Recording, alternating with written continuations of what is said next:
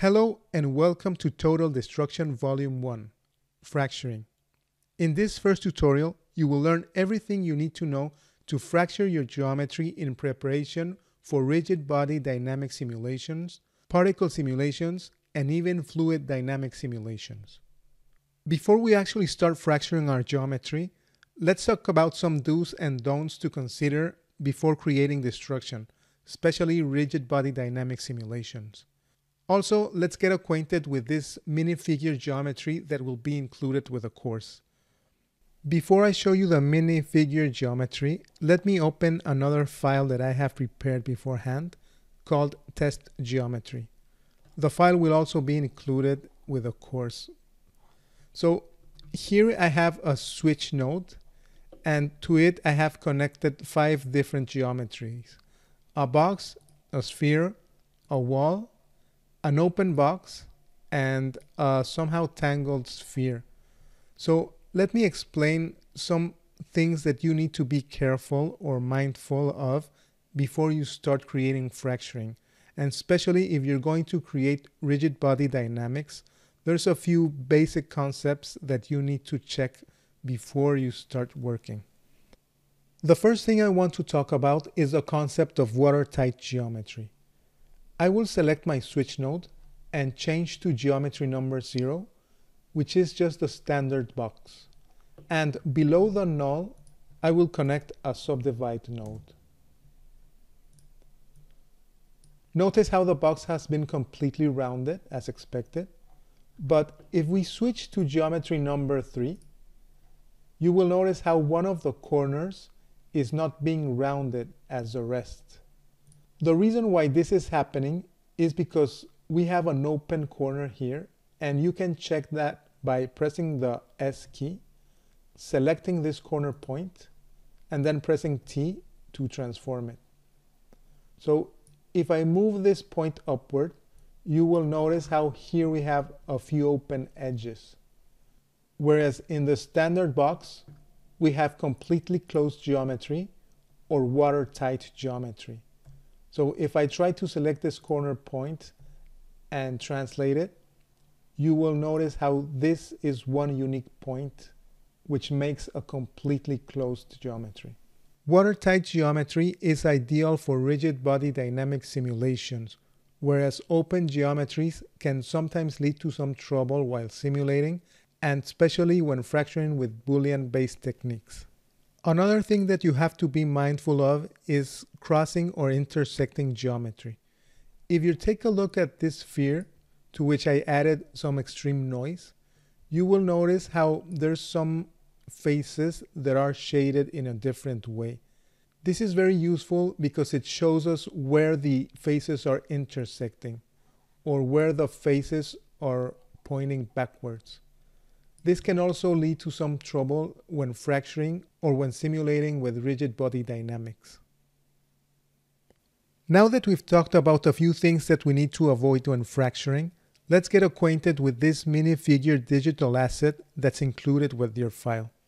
First of all, I will show you how to install it just in case you haven't done it. For now, I will remove this node and go to File, Import, Houdini Digital Asset, and I will browse to where my file is saved. In this case, the file will be saved in example files, chapter 1, OTLs. So just double click on the Dan minifigure version 1 and then click and install and create. Now every time you press the tab key and type Dan minifigure, you will be able to find this OTL and create an instance of the figure. The minifigure has a few basic properties. For example, you can turn off the helmet, the visor, the backpack, or even add materials per component. For example, you could add a separate material for the head, the torso, the arms, etc. Another very useful feature is that the figure comes divided into groups. So if you click on the information icon in the node, you will notice how we have, in this case, nine different primitive groups, one for the head, one for the pelvis, the torso, etc. Now the CT prefix is used for all the center pieces. The LT prefix is used for the pieces on the left and the RT is used for the pieces on the right. Now that we're acquainted with our minifigure, let's create a small exercise that will show us the importance of a very basic concept in fracturing, the name attribute. So let's create an empty geometry node. Let's rename it minifigure. And let's dive into the node. I will press tab and start typing Dan minifigure and press enter to create a minifigure node.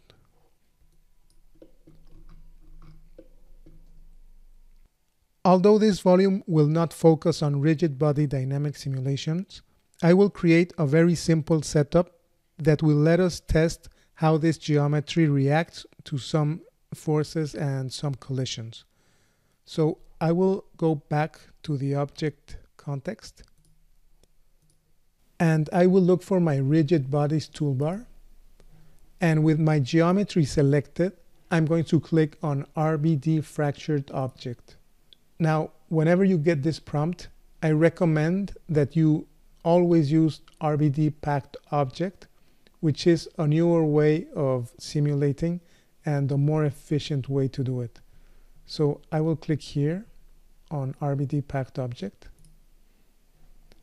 and two new nodes will be generated or actually one new node the AutoDOP networks and inside my minifigure node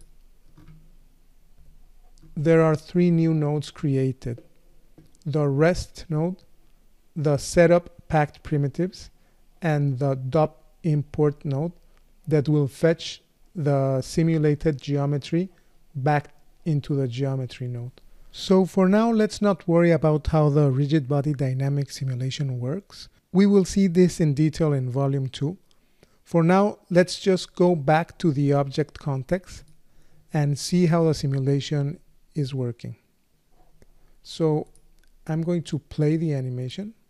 So for now, the minifigure just falls into infinity. And we can see there's some gravity, so that's fine. The thing is, I don't want him to fall indefinitely. So I'll go now to the collisions toolbar and create a ground plane. So you can control click on the ground plane icon and it will automatically uh, be set to the AutoDOP network. Now let's click play. And notice how now all the pieces of the character are falling independently.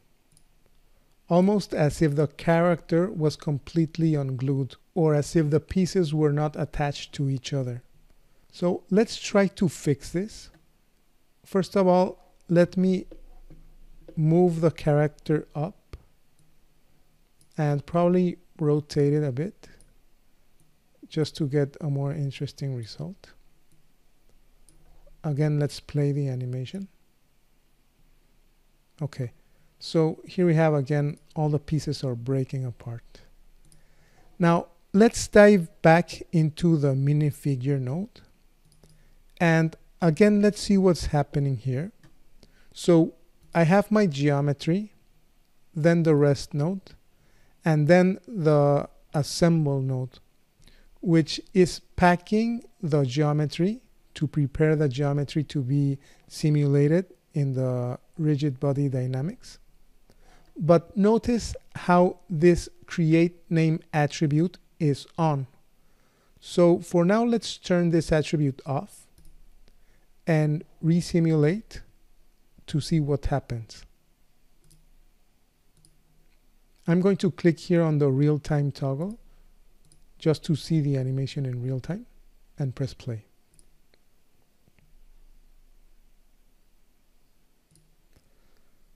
So notice how now the pieces are not breaking apart. Again, if we were to turn on the create name attribute, the pieces would break apart. So let's open the geometry spreadsheet to see what's happening under the hood. And you'll notice how this assemble node is adding the name attribute to every single point of the packed primitives. And the rigid body simulation is using each individual piece as a different object in the simulation. Now, a very important thing to consider is that although these are point attributes, we could override these attributes here on our geometry on the primitive level. That way we can define which pieces will break apart and which pieces will remain together. So let's do that now. I'm going to go back to my scene view. And before the geometry is packed, here, when we create the geometry, I will add the name attribute manually. So I will rewind the animation. And this is something that can be done in several ways. The way I prefer is through an attribute wrangler. So I will press tab and type attribute wrangler. Press enter and I will connect the node just below my geometry. Click here on the display render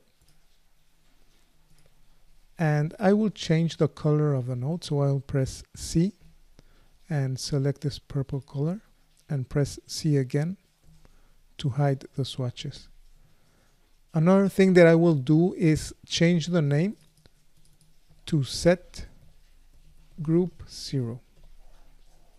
So a very important thing, as we mentioned earlier, is that the name attribute should be added to the primitives, not to the points.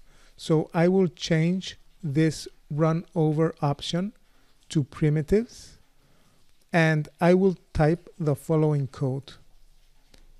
S at name, which is the name of the attribute, and I'm typing S before the at sign because the name attribute is a string or in other words text and now to define a value I need to type equals open quotes and type the name I want to add or the value that the name attribute will have in this case I can call it piece zero close quotes close parentheses and I will type semicolon to finish the line of code. And to evaluate, I will press Control Enter. And actually, I don't need this parentheses. I will re-evaluate the code. And now it's working. So let's click here on the information icon. And notice how the primitives now have a name attribute. And if we open the geometry spreadsheet and click here on the primitives component, you will note how all the pieces now are named piece 0 because the Wrangler is operating on all of the primitives on the geometry. So let's see what happens now if I resimulate my geometry. So I will rewind back up a little bit and press play. So here we're back on square one. The thing is that if you select the assemble node, uh, first of all, we forgot to turn off the create name attribute. Since we are now assigning the attributes manually, we can turn off the create name attribute in the assemble node. But most importantly, if you scroll down to where the transfer attribute is, we need to transfer the name attributes from the incoming geometry. So let's play the animation again. And since we only have one single piece name, which is P0, the entire object will be treated as a single piece within the simulation. So let's try this. I will add a few different name pieces and let's see if we are able to detach certain parts of the character in a more controlled way. So first of all, uh, let's change the name from set group to set piece because we're not creating groups we're uh, we're creating uh, a name attribute called piece and let's copy this node by pressing Ctrl C and then paste it with Ctrl V. And let's connect it here on the main tree. And let's change the name of this attribute to piece 1 and I will select a specific group. So remember that the minifigure comes pre-configured with several groups so I will click here on the group drop down and let's select the helmet for example or the visor.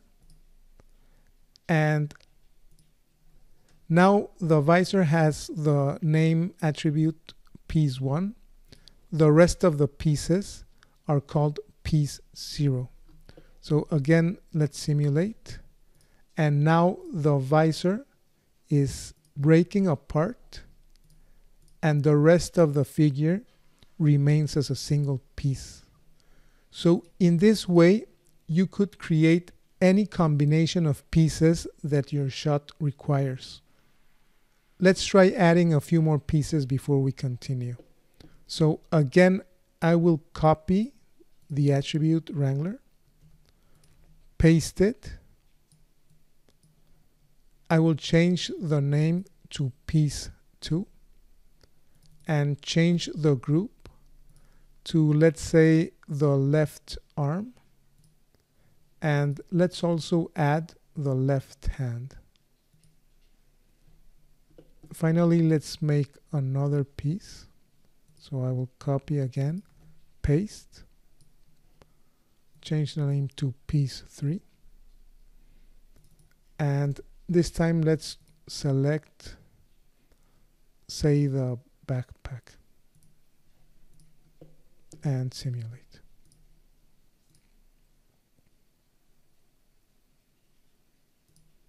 Now by just manually adding the piece attribute to the pieces that we want to break apart, we can have great control of how the simulation will react.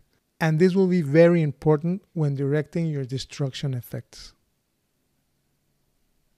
Now that we've understood the importance of the name attribute, let's go ahead and fracture some geometry. In Houdini, we have many ways of fracturing geometry, and without a doubt, one of the most important ones is the Voronoi fracture and in my opinion, one of the fastest and most stable ways to fracture geometry. Let's start with a simple exercise before jumping into more complex geometry. First of all, I will control click on the sphere tool, dive into its node, and I will also change the primitive type to polygon. I will also increase the frequency to 20 just to have a little bit more resolution.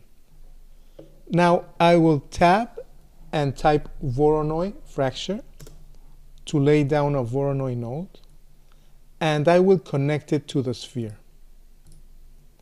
Now if you notice and click here on the Voronoi fracture visibility icon, the sphere will disappear and we get an error so if you click here on the error symbol, you'll notice that there's a text saying not enough sources specified. So the Voronoi fracture is expecting points to generate individual cells. So these points we need to input into the node. And there's many ways of generating points. The easiest and fastest way is to use the scatter node. So I'm going to connect a scatter node just below the sphere. For now, I will reduce the total count to let's say 100 and connect the scatter node into the second input of the Voronoi fracture. Now, if you look close enough, we have generated new divisions. And if we connect an exploded view node, you will notice how now for every single point that we generated with a scatter node, we have a new piece from the Voronoi fracture. And as I mentioned before, you can generate these points in any way you want. In this case, I'm using a scatter, and by default, the scatter node will generate points only on the surface of the input geometry. If you take a look at the points that were generated with this scatter, they are only lying on the outer surface of the sphere, which is fine, but sometimes you will want to create interior detail when you're dealing with very thick geometry, for example, a very thick wall or perhaps a collapsing floor or bridge. To generate interior points, we can create a volume and use that volume to scatter the points. So let me add some space here and I will lay down an ISO offset node which will generate a standard volume and I will increase the resolution or the sampling divisions to 60 just to have a better contour or a volume that better resembles my original sphere. Now, if we connect the ISO offset to the scatter, notice how we will also have points inside the volume. So the scatter node, when detecting a volume, it will use the density of this volume to scatter the points within it. So now if we take a look at the resulting pieces, you will notice how we have interior pieces that will look much more natural when creating destruction. Now, as mentioned before, every fracturing technique has its pros and cons.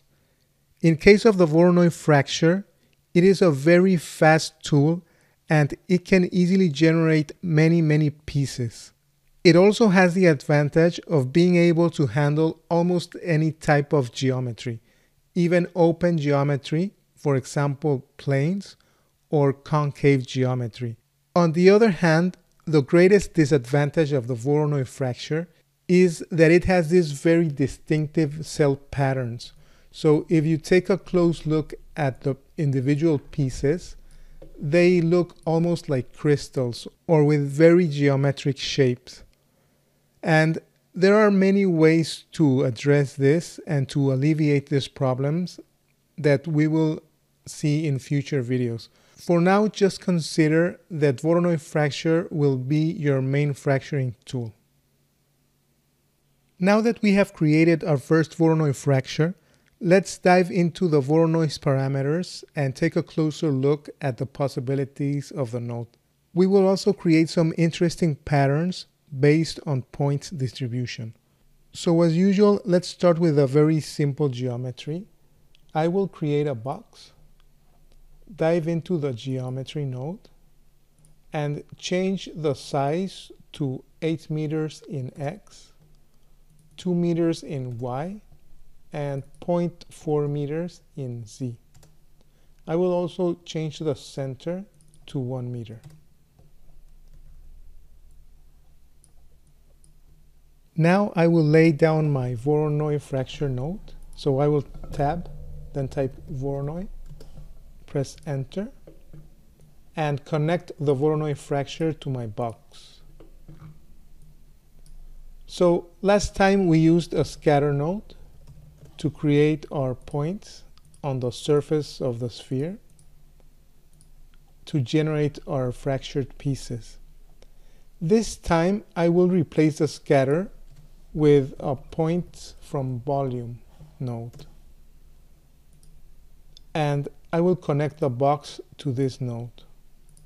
So you'll notice how now we have hundreds of points organized in a very regular way.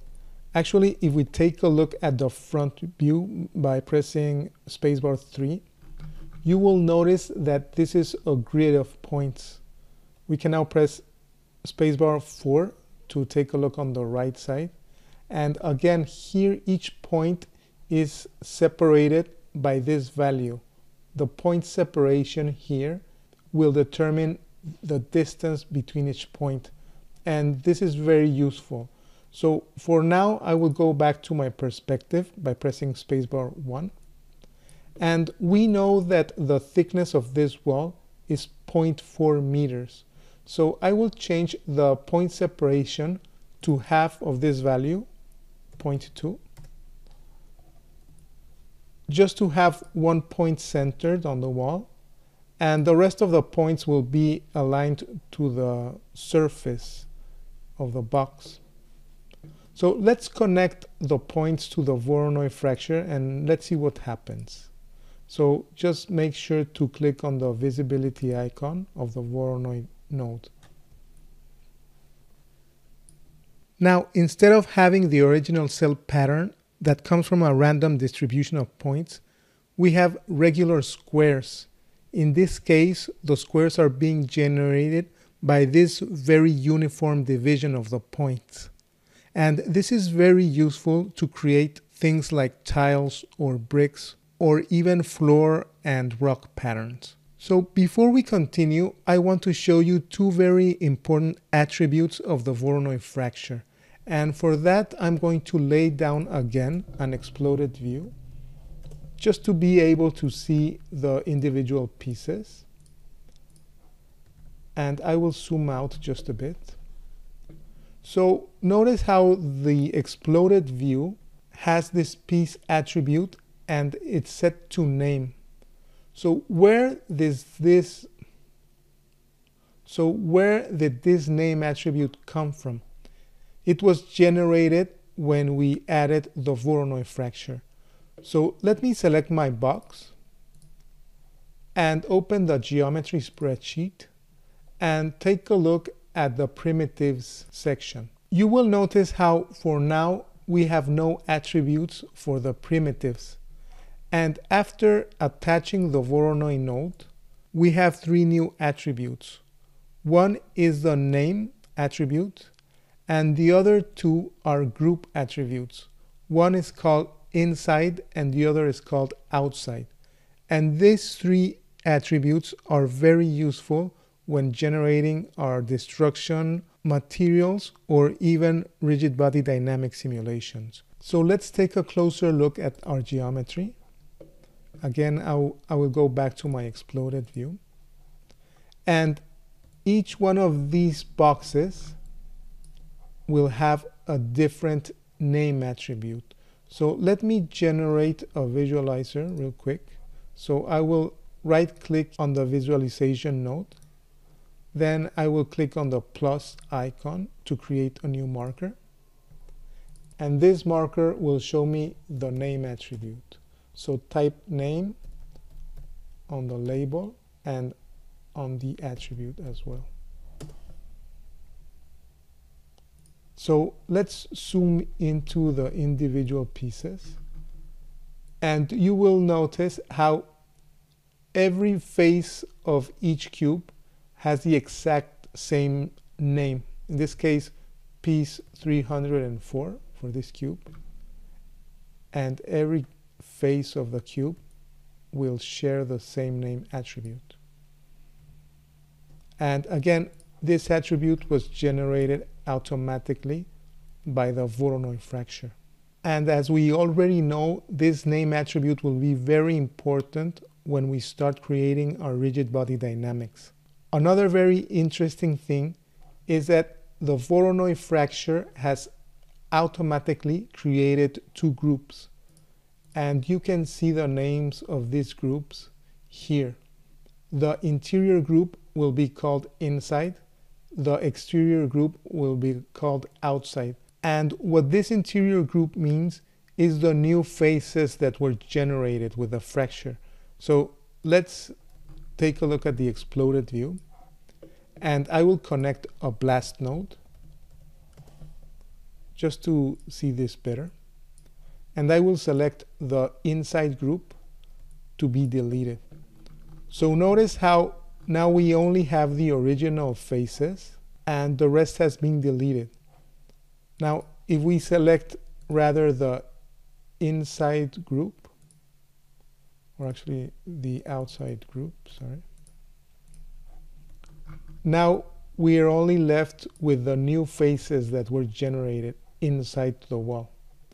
And this will become very useful when creating materials, for example, or when creating interior detail for our pieces. So I will zoom out and delete the blast node and go back to my Voronoi. So back to our parent generation, I will select my points volume node and I will slightly increase the point separation just to have a single row of blocks, just like this.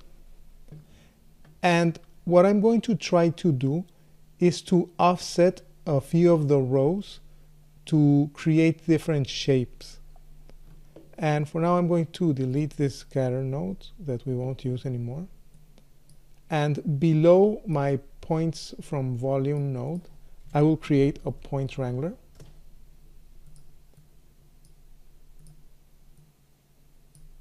And another thing I'm going to do is turn on this display point numbers button.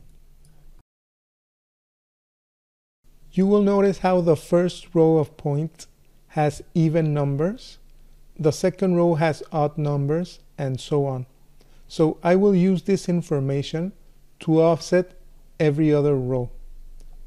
And to do this, I will create an if statement and I will use a modulo operation to select only the odd numbers. So we can type if at ptnum, which is the number of each point, modulo 2 is equal to 0, then we're going to execute the following code.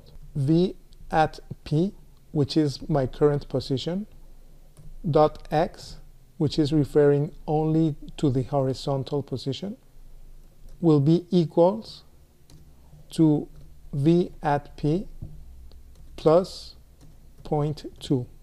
So just make sure to close this line with a semicolon and press Control Enter to evaluate. And here on the attribute definition, we need to uh, use a small v, not a capital V. So Control Enter to evaluate. So now notice if we go to our front view, how the even numbered points are offset by 0.2 or if we change this to 0.1 they will be offset by this value. So let's create a channel just to be able to move this interactively. And I will open quotes. It can be single or double quotes. In this case, it doesn't make uh, a difference. I will call it offset and close quotes, then close parentheses, and control enter to evaluate. Now make sure to click on this button on the right to create the actual channel that will let me offset the points. So let's go back to our perspective view. Let's turn off the display point numbers and let's click now on our Voronoi fracture. So now we have this very nice hexagonal pattern that can be generated by offsetting these rows of points by exactly half of the point separation. In this case, 0.11 would create a symmetrical hexagon. So we can take a look from the front view. So press spacebar 3 and then spacebar F to frame the, the entire wall. And here we can see the patterns. Of course, if we keep increasing this offset, we can generate different shapes. For example, to create a floor pattern or a wall pattern. Or we could even randomize these points a bit. For example, we could add a point jitter after our wrangler and increase the jitter by a very small amount. Just to make these shapes a little bit more irregular.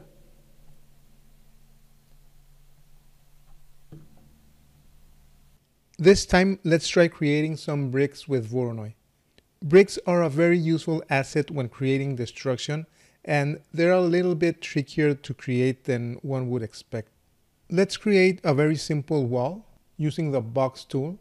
So control click on the box icon, dive into the geometry node, and let's change the parameters of the box to 8 meters in X, 2 meters in Y, and 0.4 in Z. Let's also move the wall upward 1 meter. Now I will press spacebar and F to frame the view. And let's create a Voronoi just after the box.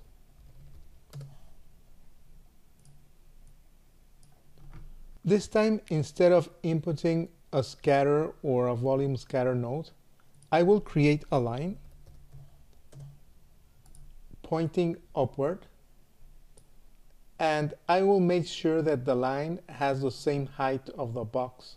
And that can be easily done by selecting the box node, right clicking on the Y size, copying its parameter, going back to the line, and copying back the parameter as a reference in the length channel. So right click on the channel and click paste relative references. So now we have a two meter line and I'm going to increase the points to let's say 10. I will connect the line to the wall. Now notice how the wall was divided horizontally in exactly 10 segments. I will just add a transform node. So I will click tab, type transform, and press enter just to offset the points a little bit upward to have rows of the same height. Now the tricky part is how to divide all these blocks so they are offset on every other row. And for that I'm going to create a for each loop. So type tab and start typing for each and we're going to select for each connected piece. Let's now connect the Voronoi node to the connectivity node and the for each will run over each of these connected pieces that were generated by the connectivity node. So if you take a look at the connectivity node, it's creating a new class attribute for each of the connected components or each of the connected primitives of this geometry. So let's make some space here we're going to create a few more nodes inside the for each loop. And first of all, let's create a points from volume, just as we did with the last exercise with patterns. And we know this will generate a very even distribution of points. Now let's create a Voronoi fracture. Let's connect that to the for each begin and then connect it to the for each end. And I will also connect the points into the second input of the Voronoi fracture. So as we did earlier, we have now a very even distribution of cubes, one on top of another. And what we actually want is each row to be offset from the previous one.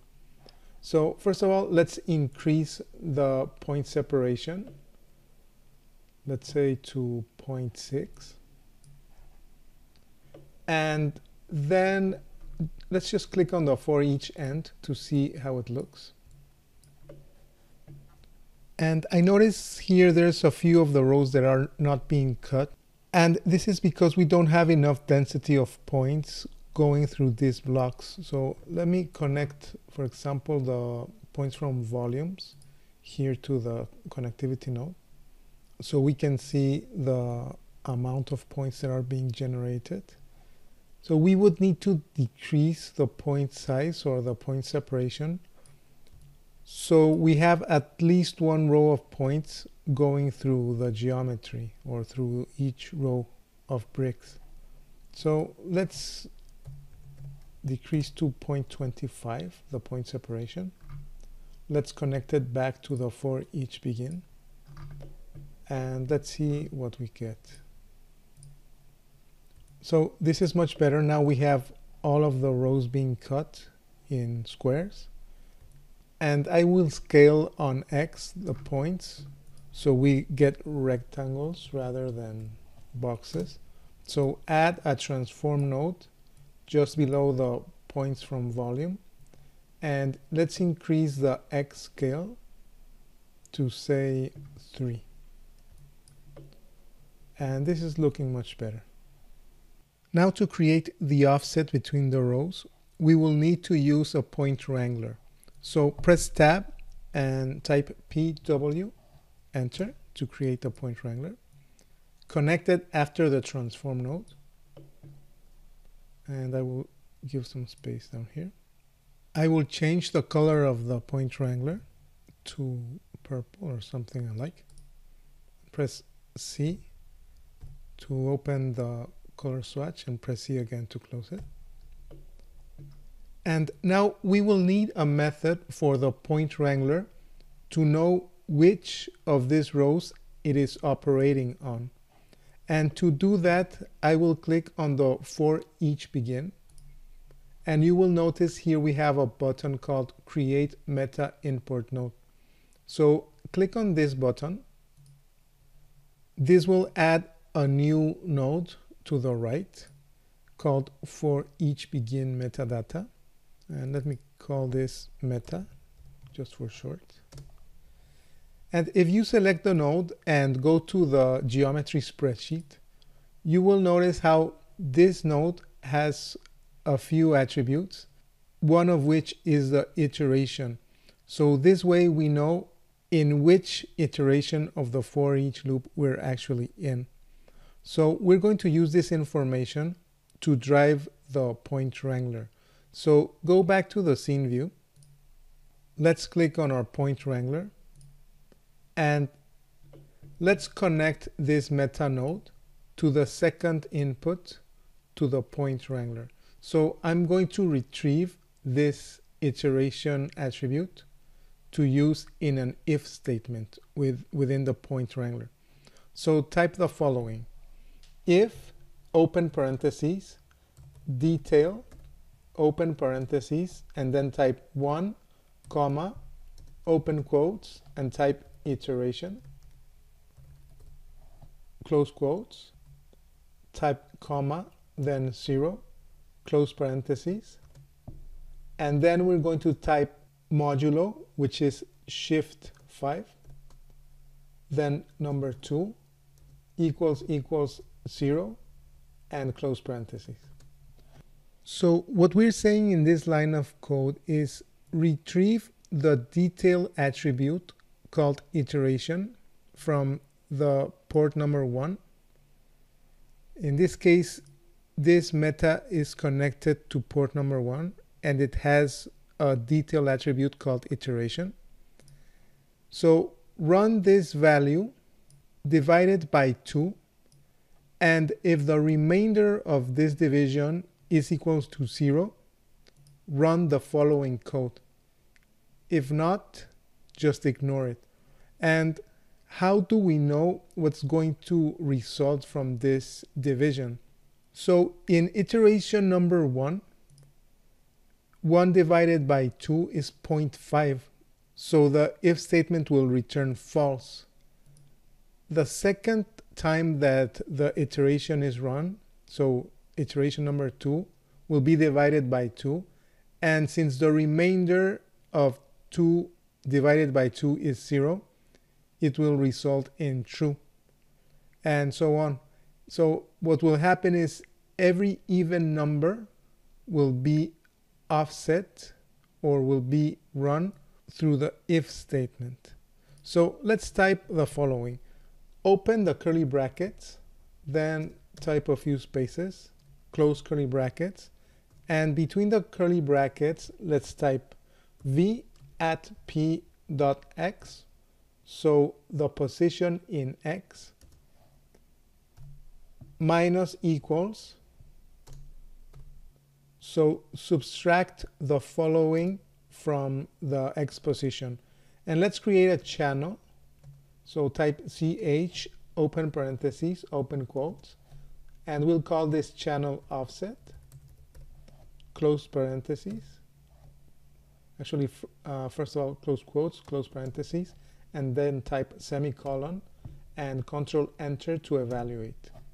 So now click here on the button to the right to create the actual offset channel. And now you will notice as we increase this value, only the even number of rows will be offset to the left or to the right. The even columns, or actually the odd rows, will stay in place. So they will ignore this line of code. So our brick wall is looking good.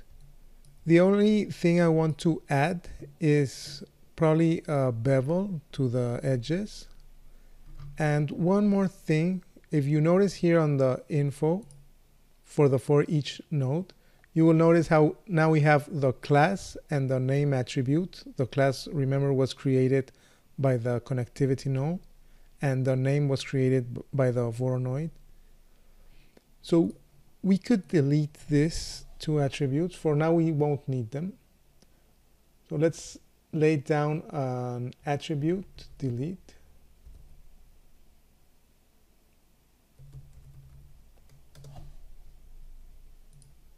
And under the primitive attributes, we can delete both. And finally, we will add a poly bevel. So if increase the distance of the bevel, we will avoid these very sharp edges. And here we probably want to change, instead of a chamfer corner, we want a round corner. And maybe also increase the divisions, just to have a little more detail here. And finally, if you want to check out the individual pieces, we can add an explode view. And these are the individual bricks.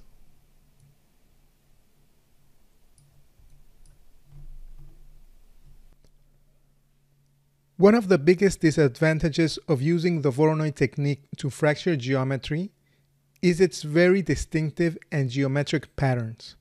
Usually, the Voronoi pieces are very distinguishable and usually are very unnatural since they are almost perfectly geometrical. And they may be useful for certain applications. Maybe you're doing some crystal shards, or probably you're doing some abstract animations, and they will be fine. But in most of the cases, when you're creating destruction, you want to break this Voronoi look. And there are several techniques that we can use to do this. One of the most common and the most simple technique is the clustering technique. And by clustering, I mean by grouping several small pieces into larger chunks. So let's create a practical exercise. For now, I will be using this model from Quixel Megascans. Unfortunately, I will be unable to distribute the model with the file, but uh, you can use any other model that you have, or you can even use simple geometry. In this case, I have added a switch node that can be switched into a box with the same dimensions of the wall. But for practicing purposes, you can use any model. Just make sure that it's a watertight model. Okay, so let's start by adding a scatter node. So I have a null here labeled out geo, just to easily know that here we will start fracturing. And I will connect, first of all, an ISO offset to create a volume from the model. And I can increase the resolution. Let's increase it to 60. And let's scatter some points. So remember, sometimes when you are using many points or maybe when you want a more uneven result, you can turn off the relax iterations. So this will this will give a more random distribution of points. And then I will connect a Voronoi node into the main tree. I will connect the scattered points into the second input of the Voronoi fracture. And let's click on the Voronoi fracture to make it visible. Now, the Voronoi cells have been created. I will connect an exploded view just to make it more clear. And here you can see the pieces. So we have quite a few pieces, it's fine. Uh, I think um, the computer should be able to handle this very quickly. But the problem is that if you have a closer look, we have these very sharp edges, very linear edges that, as I mentioned before, are kind of unnatural, especially for something like concrete or brick or mortar. So let's try to break up the contours of this uh, fragments with a clustering technique. So let me zoom out a bit. And I will look for a node called RBD cluster. And I will connect this node just below the Voronoi fracture. Now notice how we have a second input called constraints. And even though we won't be generating constraints in this exercise, we will be touching on constraints in later tutorials. We will need to connect this input for the clustering workflow that I will be using. So let's click on the RBD cluster node and let's take a look at its parameters. So first of all, we have the cluster name prefix. And here I want to show you, I will go into the geometry spreadsheet and into the primitives area. And notice how the name has been changed to cluster. So remember, with the Voronoi node, you get an attribute called name, and the Voronoi by default uses the prefix piece. So we have P0, P1, etc. Now, when we added the RBD cluster, this name attribute has been changed to cluster and a number suffix. In this case, it also created a cluster attribute. So it's a separate attribute and the name has changed. Just keep that in mind. So I will go back to my scene view and in the RBD cluster, I'm going to click here on the cluster attribute. To the right, we have this icon that will let us visualize the clusters that are being generated. So let me connect the exploded view here to the RBD cluster node and take a look at what's happening. So notice how now we have a few very big chunks and very small pieces that they don't they don't look very nice. They look better than what we had but let's try to fix this and try to get a nicer shape. So first of all, I'm going to look at the detach ratio. And this is what's creating the small little pieces, like the separate cells. So if I bring this value down to zero, I will only have the big clusters of pieces. So for now, let's leave this parameter at zero. And let's use the cluster noise parameters to change the shape of these pieces. So first of all, if we change the size, if we increase the size, we will have larger pieces. If we reduce the size, we will start getting much smaller pieces. So this is starting to look very good. It's starting to look much more natural. Say, for example, that I'm happy with the size of the pieces, but maybe I want to change a few of these shapes. I could offset the pieces to get a different result. Actually, I think I'm going to go with a larger piece. I'm going to offset it a bit. Probably like this. And I want to show you now the detach parameter that we used earlier. So say I want a few smaller pieces detaching, then I could increase this ratio just to have a few. And if I'm not happy with the pieces that were created, I can always change the detach seed. By itself, the RBD clustering node can be very useful, but its main advantage resides in the fact that you can create your own clusters. Say, for example, that you want very specific shapes, you can create those shapes based on selections of points. Let's try that next. I will make some space below my Voronoi node and I will create a null object and connect it to the second input of the Voronoi. And just for you to see, these are the constraints that are being created by the Voronoi fracture. But for now, uh, let's ignore the constraints and let's worry about the clustering. So I will add a new point wrangler just below my null. So first of all, I will create on this arrow button to the right. This will let me make a selection of points.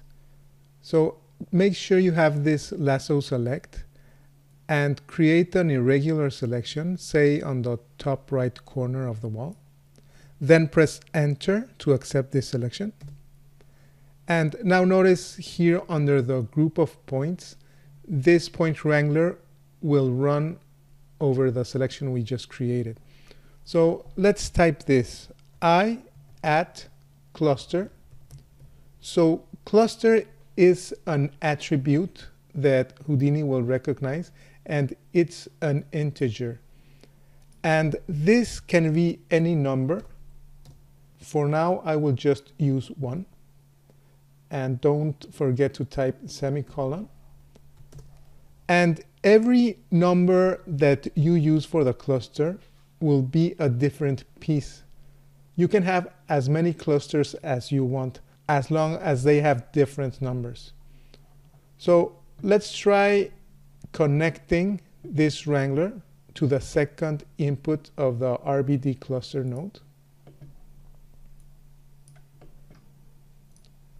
And notice how now the clusters that we had have been overwritten by the ones that I've just created with a point wrangler. And notice how this cluster noise, by default, it says preserve existing cluster. So this means if there's a cluster attribute down the line, whatever clusters are being generated here in the node will be ignored. So let's try changing this to override clusters. So now it's ignoring the ones that I've just created and generating its own. Now notice we also still have on the random detach option. I will turn it off. And this way, when I use the clusters I created, I will only have those two pieces. Let's try creating another corner piece. So I will copy this wrangler. Maybe we can rename it to create cluster one. So I will copy it, paste it and connect it here on this branch. I will generate a new selection of points.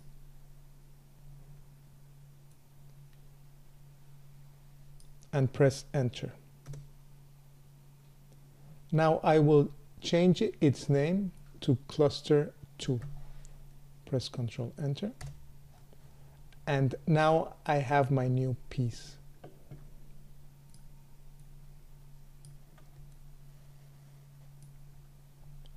So as you can imagine, this will let us create very unique and customized pieces. Adding detail to your fracture geometry is essential to create a very nice look in your final render. And actually, creating interior detail for your Voronoi pieces is pretty straightforward. Let's recreate our Voronoi fracture just as a practice. So remember, once you have your geometry ready, we can create a scatter. So let's create an ISO offset volume just to have points inside the wall. Let's increase the resolution and add a scatter node. This time I will use a few pieces. Let's try with six. And then let's lay down a Voronoi fracture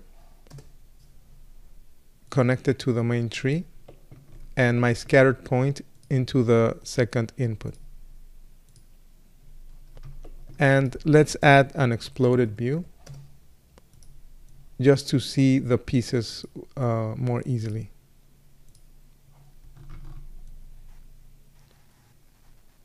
So this is fine for now. Actually, I like that we have this uh, very big interior pieces so we can see the interior detail. So let's now add an RBD interior detail node. Let's connect it to our Voronoi fracture. And just in case we later want to create some rigid body dynamics, let's also connect the constraint geometry to the second input. And let's click on our RBD interior detail. Also, I will connect my exploded view to this last node. So notice how right off the bat we have a few more subdivisions here inside our Voronoi cells. I don't really like the default values in this case. Uh, probably we don't have enough detail. So first of all, let me decrease the detail size. Let's try with 0.075. So notice here we have more subdivisions. And for this size of pieces, I think we can even go lower. Let's try with 0, 04.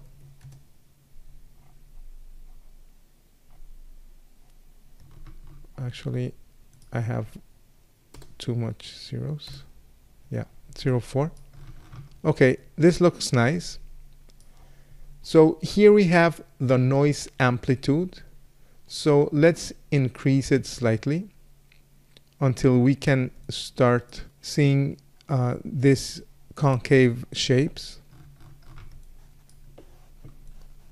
It now looks much more detailed, but I think we can still decrease the size of the noise pattern. So here we have the frequency of the noise. Of course, if we increase the frequency, we'll have smaller patterns, which in this case is what I'm looking for. Again, we have an offset just in case we don't like the patterns. We can change the pattern with the offset. So here I like these very nice ridges that are being created. And one other important property is the interior cusp angle. If we increase the cusp angle, we will have smoothed parts. We, if we decrease this parameter, we'll have more angled shading just as we can see here. So let's try with 25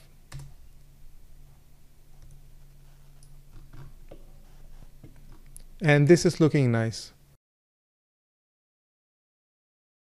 And there's not much more to the interior detail node just a few more parameters that will help you visualize how the noise is being generated.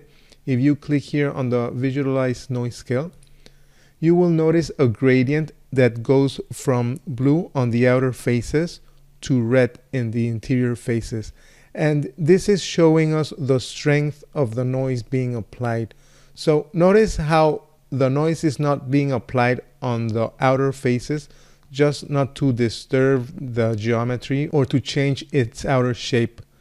All the noise is being concentrated here on the center of the interior pieces. And usually the depth volume resolution you will need to change. The default of 50 is fine. But in case you want to push the noise outward, you can change the depth noise bias. You can increase it if you want a little bit more noise towards the exterior faces or decrease this value if you want to push the noise pattern more towards the center. So here just a word of caution, try not to go very high with this value or even with the noise amplitude because if you go very high with these values you may start getting some artifacts especially here near the borders or near the edges and this could also cause some trouble when you're creating uh, rigid body dynamics. So just be careful not to go very high with these values. We can still add a few more details in render time with uh, bump maps or displacement maps. Now that we have added some interesting detail to our interior faces, it's time to add UVs and materials to them. Let's first take a look at the actual UVs. So you can go into the viewport and press spacebar 5 to check the UV layout. And these are the UVs that came with the original model. So notice how we don't have UVs for the new faces that were generated by the Voronoi. So I will press spacebar 1 to go back to my perspective view. And if we take a look at the geometry spreadsheet, and go to the primitives component, you will notice that we have three groups, the inside group, the outside group, and a group named patch, which I generated. So we can ignore this patch group for now. The inside and the outside groups were generated with the Voronoi node. So here, if you click on the Voronoi and scroll down to its properties, you will notice it is creating an interior group called inside and an exterior group called outside. So this is what we're going to use to generate our new UVs. So just remember, we already have UVs for the outside. Now we need UVs and material for the inside pieces. So let's go down to our RBD interior detail and add uh, UV unwrap node. I will connect it to the main tree and click on its visibility. So let's go back to the scene view and press spacebar 5. So notice how UVs have been created for every single face. So let's go onto the group property and check the inside group. This way, we're only generating these new UVs for the interior faces that were created. So first of all, let me shift the UVs to a new UV space. So we can also add a UV transform node. And shift them in X by one unit. Again, make sure to select the inside group.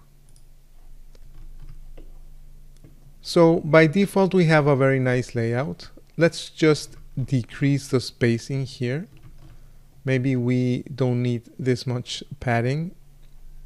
So go back to your unwrap and change the spacing to 0.5. Probably we could even go lower to, let's go to 0.25. So let's go back to our perspective with spacebar 1. Let's connect our exploded view just below our UV transform. And notice now we have some textures here. For now we have the same material that we're using for the exterior faces, but let's try adding a new material. And if I go to the material context, you'll notice I have two materials created. One is for the broken wall and the other one is for the interior concrete. So again, remember, I will not be able to distribute these materials because these materials were downloaded from Megascans as well. But you can create your own materials and use your own textures for this purpose. So I will go back to the object context inside my geometry node. And below the UV transform, I will connect a material node. So select the node. Again, make sure to select the interior faces or the inside group and select the new material that was created. In this case, I will select the old concrete and connect my exploded view. So here we are with a new interior material and I think it's looking quite nice. The Voronoi fracture is great for fracturing objects such as glass, concrete, or even rock. But when it comes to fracturing wood, it's a little bit more trickier than it seems. I will now show you a technique that will help you create realistic wood splinters in a simple way. So here I have another Megascans model. Again, I've added a switch node where I can switch between the model and a box. And for now I will use the 3D model, although for this exercise you could use a simple box. So below the out geo node, remember this is just the geometry and I will create all the pieces below this node.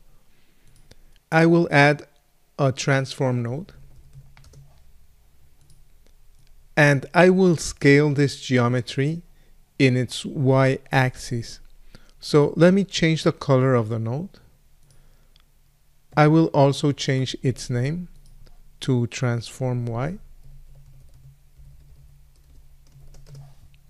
And let's change the scale on y to 0.2. Now to create the points for the Voronoi node, I will add a grid and I will change the scale to 0.5. I will template the node just to be able to see it. And I will scatter onto it a few points. Let's say 20 points. Actually, let's go higher to 5 400 points. Okay, that's fine. Now let's add a point jitter.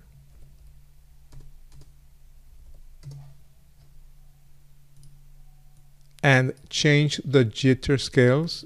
I will change the x-axis to 0 as well as the z-axis and change the y-axis to let's say point, point 1 is fine.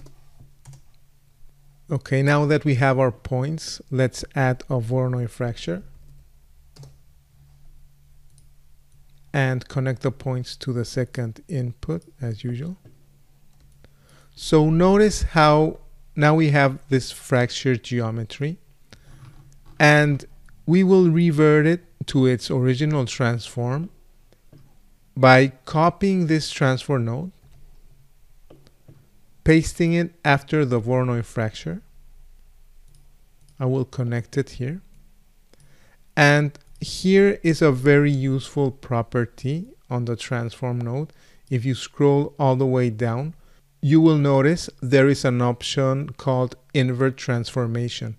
So let's click on this property and notice how now we have the wood plank back to its original scale. So let me connect an exploded view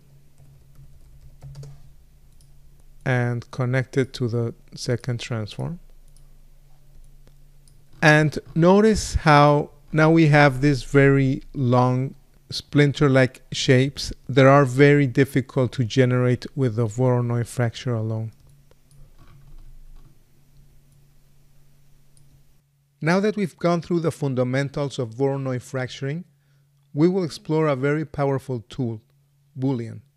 The main advantage of the Boolean tools is that they will allow you to create very specific and very art directable cuts and fractures for your destruction effects. First of all, let's take a look at the geometry that I will be using for this exercise. I have downloaded the huge Icelandic volcanic cliff from Megascans, but you can use any other similar geometry that you wish. So let's dive into the geometry node and see what I have done. So if you look at the tree, you will notice that I have loaded the file. Then I have rescaled it just a little bit so I don't have a huge model. So if you go into the information icon in a node, you will see a few very uh, useful parameters. In this case, you can see the size of the geometry. So it has 156 meters in length, which is fine for this kind of models. So additionally, I extruded a few faces, just a tiny bit, and then I pulled them downward just so they lay flat on the ground. And I added a polyfill. So remember that usually for fracturing, and especially for booleans, you want to make sure that you have a watertight geometry. In this case, the polyfill will ensure that all the open edges are closed. Now that my main geometry is prepared, I will generate a second geometry that will let me carve into the mountain to create some fragments. So let's create a sphere and let's make sure it's quite large. So I will scale it to 20 meters in diameter. So I have one meter in radius and a uniform scale of 10. Now I will template the cliff geometry, select the sphere and add a transform.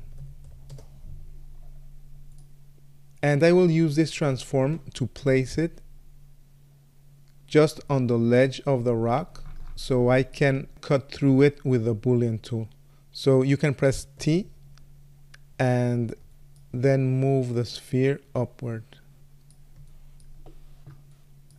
Probably in this case a bit to the right.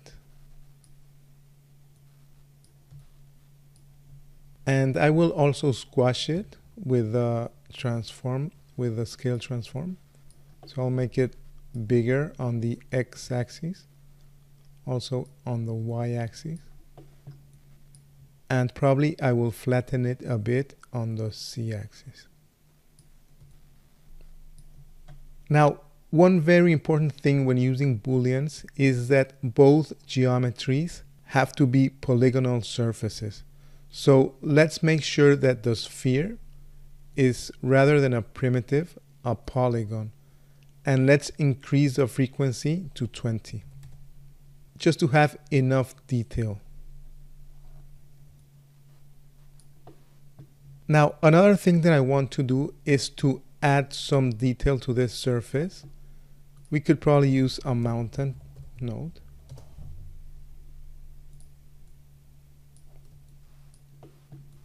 And we could increase the detail size. So select the mountain node.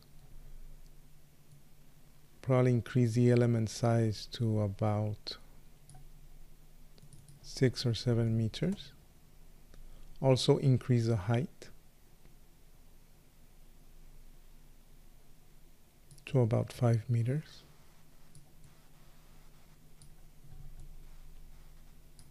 and just make sure to place the sphere where it looks interesting in this case I want to grab the top of the cliff and probably carve into it just a little bit, not that much. But again, this is a matter of choice and you could place the cutting geometry in a very precise place.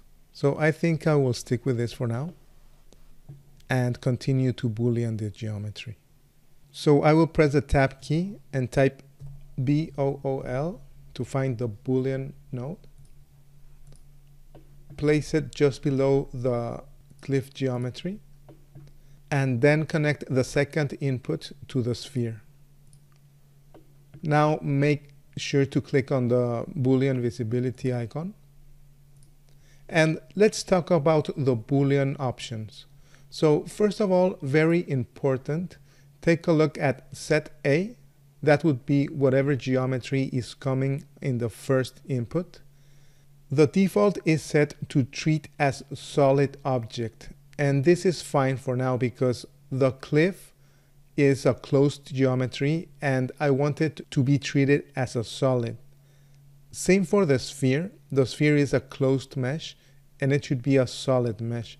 So set B, which is coming from input 2, is also being treated as a solid. Now, most importantly, we have the operation. This will determine the result of the Boolean. So by default, we have the intersection. And if you notice here on the viewport, you'll see how all the cliff has been deleted and we only have the part that was intersecting with the sphere. And this can be very useful. Let me add a null node just so we can see better this result. Let me untemplate the cliff. And here is the result of the Boolean. So by itself, this is very interesting because this can be further fractured to create, for example, an avalanche or an explosion or whatever destruction we want to create. So let's leave this as rock geometry. And I will copy the Boolean node with Control C and Control V. Make sure you have selected the Boolean too. And this time I will change the operation to subtract. So by default, it will subtract A minus B. In this case, that's fine because we want to detach the sphere from the cliff. And if you take a look at both parts, we have the positive and the negative. We have the cliff and the piece of the rock that we will crumble or we will destroy. So let's add another null. And let's call this null cliff geometry.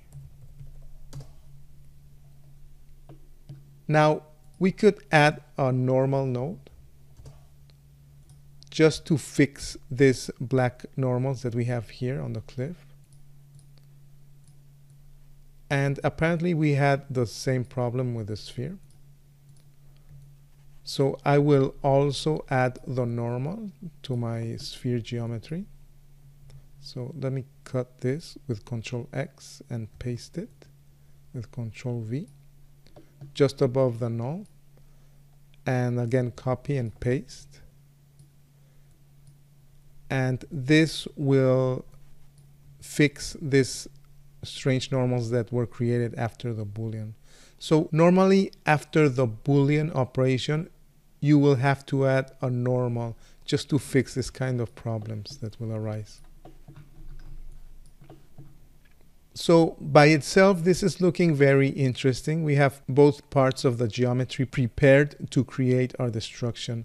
Now, notice something very important here. The resulting geometry that was generated from the Boolean has no UVs, and this is something that you will normally want to fix. So let us go back to, to the sphere geometry.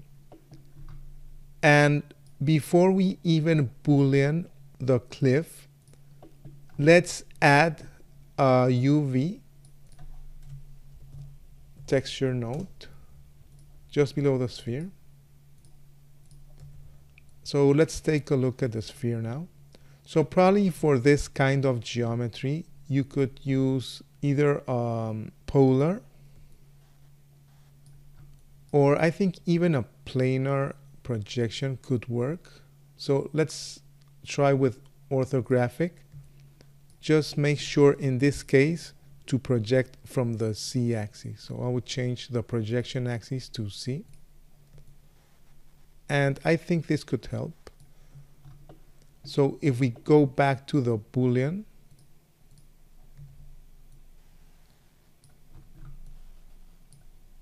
I think this may work. Let's try selecting the cliff.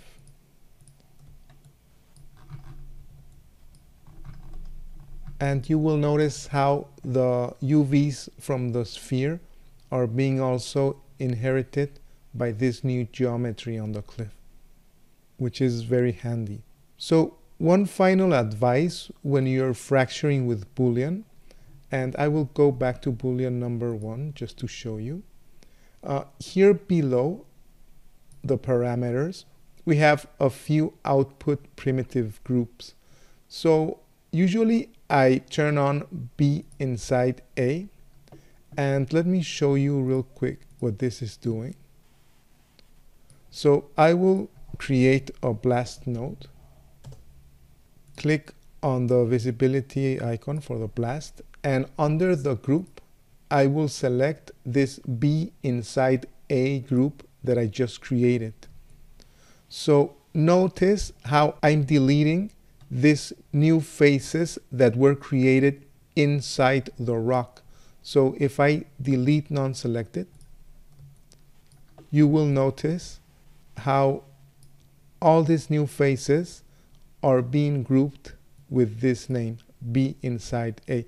And this can be very useful afterwards if maybe we want to change the texture or probably we only want to change the UVs in this area or even when we later want to generate debris or particles or maybe some fluids from the broken piece. So I will delete the blast node and I will save this file so I can later use both pieces separately. Now that we understand how the Boolean tool works, let's try shattering this rock further to prepare it for destruction. So first of all, what I'm going to do is I'm going to center this piece of rock to the grid. So I will add a transform node. And here's a handy trick. I will type in all three axes minus dollar sign CEX, which is the value of the centroid of the object. Then for the y axis, I will type minus dollar sign CEY. Same for the z axis. I'll type minus dollar sign CEZ and enter. Now, notice how the rock is centered on the grid, and this will make my explanation much easier. This step is not mandatory, but I think it will help us in this case. So first of all, I will create a grid, and I'm going to use this grid object to cut through the rock. Now, let's template the rock select the grid and make the grid a bit larger, say 30 meters. Let's also increase its subdivisions. Let's try with 40 and 40. And I'm going to add some noise. I can use a mountain node just to make it a little more irregular. I will increase the height and probably increase the size as well. Something like this is fine. Now remember in our earlier chapter how the Boolean SOP will create new geometry and will inherit the UVs from the objects we're using to create the Boolean. So before we go much further, I will add a UV texture node and create an orthographic projection along the, the y-axis. So the defaults are fine. If you want to check the UVs that we just generated, you can go to the perspective and press spacebar 5. And here we have our UVs. So I will now press spacebar 1 to go back to the perspective view. And I'm going to transform the grid so it goes through the rock in a more vertical way. So I'll press enter and I will rotate it a bit. I think something like this is fine. I will cut it in half. And now I'll go back to my rock object and add a boolean node and I will connect the grid to the second input of the boolean. Now remember by default this node assumes that we have two solid and that we want an intersection of both. So in this case my first input or set A is a solid so this is fine but my second input which is set B is not a solid object. In this case, we need to treat this object as a surface. Now, the second thing that I have to do is change the operation to intersect. Sorry, to shatter. So apparently nothing has happened. Although we see here a green line, the model seems just the same as before. So let's try adding an exploded view just to see what happens. So now you will notice that we have the two pieces of rock and they were cut exactly where the plane is. And even we have some interior detail from the mountain SOP that we used on the plane. And there's something very important that I usually do, especially when I'm doing destruction. And this I also explained in the previous chapter, but it's very important, so I will repeat it here.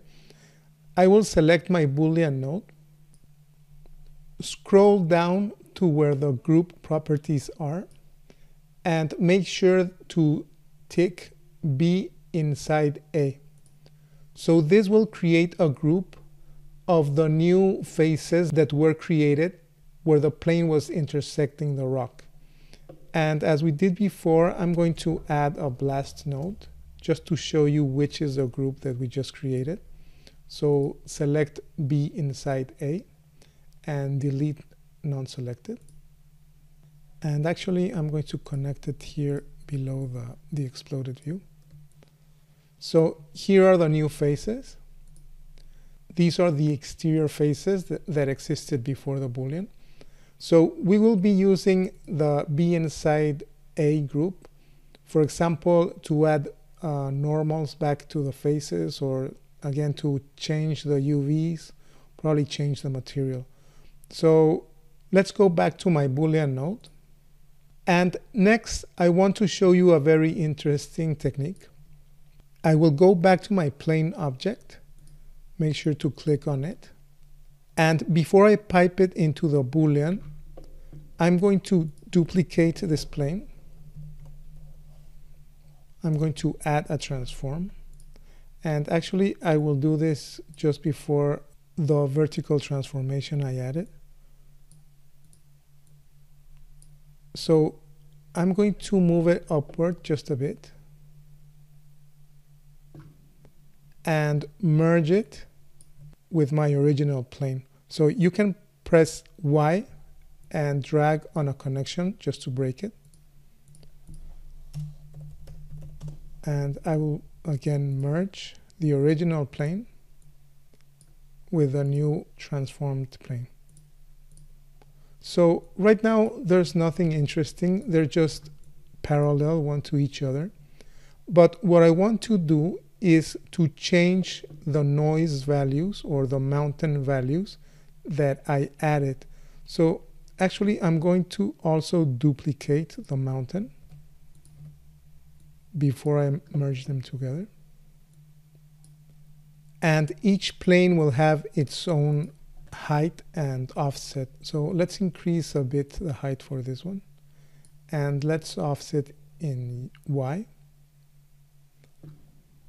Probably translate it less. Let's try it with 0.3. Probably 0.4. And you will notice how these two planes start to intersect. So I'll press spacebar W to go into wireframe. And you will notice how some of the parts from the bottom plane are intersecting over the top plane. And this will create some interesting effects once we've booleaned the rock. So let's try decreasing the element size a bit. Let's try with 1.5.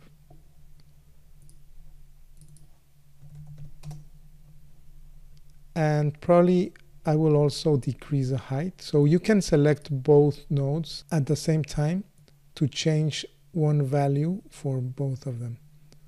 So let's try also decreasing the size and the height. Just make sure they keep intersecting.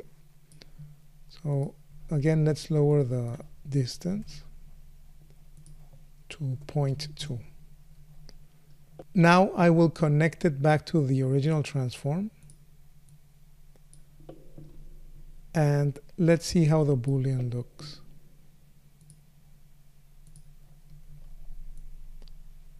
So notice how we now have some interior pieces, not only the two halves. We have also some small pieces and some medium pieces, which will give a very interesting look to the destruction. So probably we don't want this huge middle piece. I'm going to try to break it up. But in general, what I'm looking for is small pieces and medium pieces that will give much more detail to my destruction. So just to avoid this very large piece, I'm going to increase the mountain height and see if we can break it up a little bit more.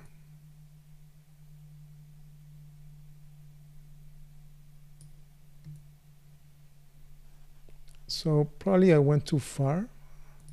I'll bring it back to 3. And try reducing the transform height instead.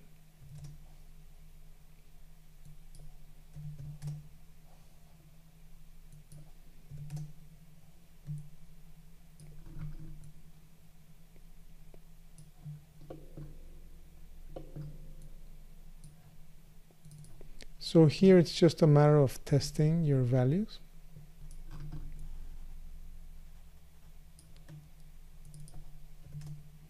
So I think I will leave this up to you. But in general, what we're looking for is this breakup. Okay, I'm back after pausing the video for a few minutes. I kept testing a bit with the mountain parameters and in the end I decided to create two more copies and this did the trick. So now I have much more separated pieces and if you check the exploded view you'll notice how we don't have like these large pieces connected together. So I will go with this. And before we move ahead, I will show you a very nice trick with these intersected planes. Before we move on the RBD material fracture workflow, I want to show you how to add more detail with our current setup. So first of all, I'm going to zoom into the main tree and disconnect the Boolean node. Actually, I'm also going to delete this last transform and I'm going to keep my planes. I will go back to my huge rock and before I move on, I will remove these HScript variables that I added here. I can control shift and click on the translate property. And I'm doing this because later I will copy this transform and invert it just to bring back the rock into its original place. And with the HScript variables, this won't work. We will look into this later. For now, I will add an ISO offset node just to convert the geometry into a volume and increase the resolution a bit. And then I will add a scatter node to scatter some points into this volume. So first of all, I'm going to turn off relax iterations and I'm going to start with just a few points. Let's try with six points. And before I copy these planes onto the points, I'm going to add an attribute randomize node and randomize the n attribute of the points, which is the normal of the points. And remember, this will orient the grid objects once we copy them into the points. So I'm going to click on this button called display normals. And let's try to see the normals on this point. So what I'm going to do with the attribute randomize is change the uniform continuous parameter for the inside sphere parameter. So this will orient all these points in random directions within an entire sphere. So let's try this. I will add a copy to points node. Connect these points into the second input. And I will connect my planes into the first input of the node. So now we have six planes intersecting and let's try to boolean the rock with these new planes. So I will connect back my rock to my boolean and then connect the planes to the boolean node. Now this may take a while. We will be generating a lot of new geometry. So depending on your system, you may want to start with very few points and then increase the number of points depending on the amount of pieces that you want for your simulation or for your instruction or the amount of detail that you want to get. So let's take a look at the exploded view. So now we have a lot of pieces. Let me turn off the display normals. I think this is starting to look fine. Let's not forget to add a normal node just to get rid of those black faces. And I will only apply new normals to the B inside A group. So let's connect it back to our exploded view. And notice where we have rocks breaking, we will have a lot of detail inside, which in general is very natural. So one very nice thing about the shatter technique is that we don't get this cell pattern look that we usually get with a Voronoi fracture. So that's one advantage. The downside may be that sometimes Boolean can be a little bit picky with a geometry, but in general, each technique will have its own use and its own applications. In this case, I really like this very sharp shards that will be created in the rims of the breaking rock. I will try increasing the pieces a bit and then we can create a test simulation. So I will go back to my scatter node and I will double the amount of points or actually I'll just increase it to 10 and see what I get.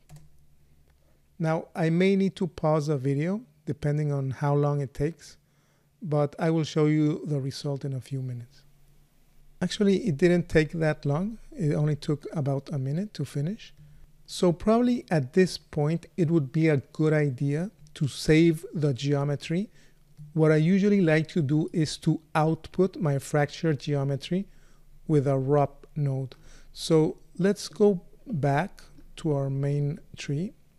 For now, I will disconnect the exploded view and I will create a null node.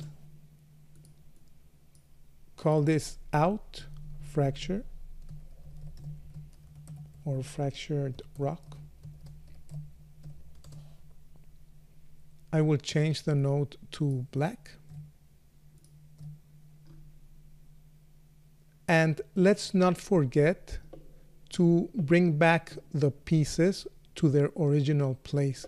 So I will copy the original transform that I used to offset the pieces and I can call this offset to center. I will copy the node, paste it just before our null, and I will invert the transformation. So click here on the invert transformation and it should now be back in its place. So just let's make sure if you go back to our previous null, here it is in its original place. And down here, we should have it exactly on the same place. So now the difference is we have a few pieces, or actually a lot of pieces that have been fractured with a shatter boolean. Okay, so to save the geometry, I will add a ROP output geometry node and I will name this node fractured rock. I will use the default name and folder location and click on save to disk. Now I will add a file node just to read back in this geometry. So I usually like to paint them with a blue color. And what you could do is select your ROP geometry output, copy the output file location, and paste it in the geometry file in your file node. So I will paste as a relative reference. So here I have my saved geometry. And let's real quick create a very basic simulation. So with a node selected, go to the rigid bodies tab and control click on the RBD fractured object. Make sure to click on the RBD packed object. And again, we will create a very basic simulation just for testing. So I will go with the defaults for now. I will also add a ground plane. So go to the collisions tab and control click on a ground plane. And I will create a flip book just to take a look at what we have so far.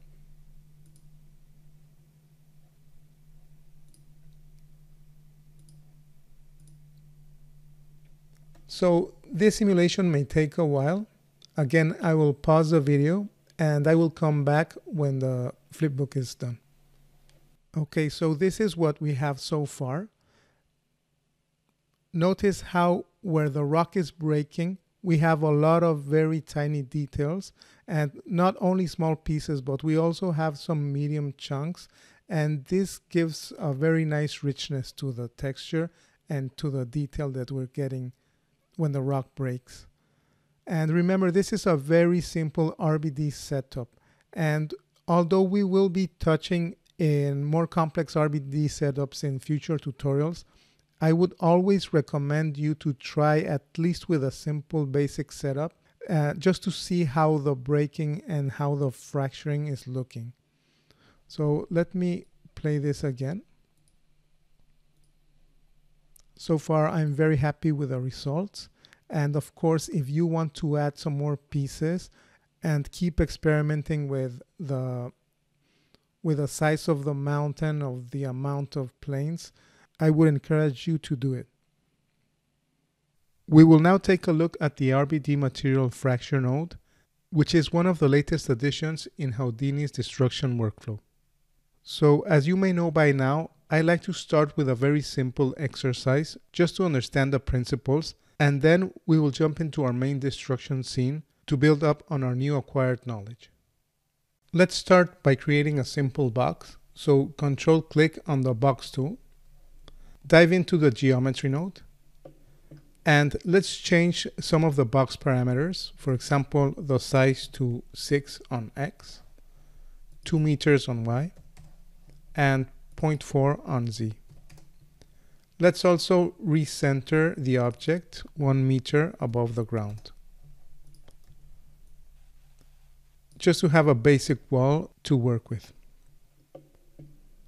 Now, as usual, we will create a volume from this polygon. So I will lay down an ISO offset node. Remember, you can also use a convert VDB node. For this case, uh, this is fine. I will use a uniform sampling division of 60. Then I will scatter some points.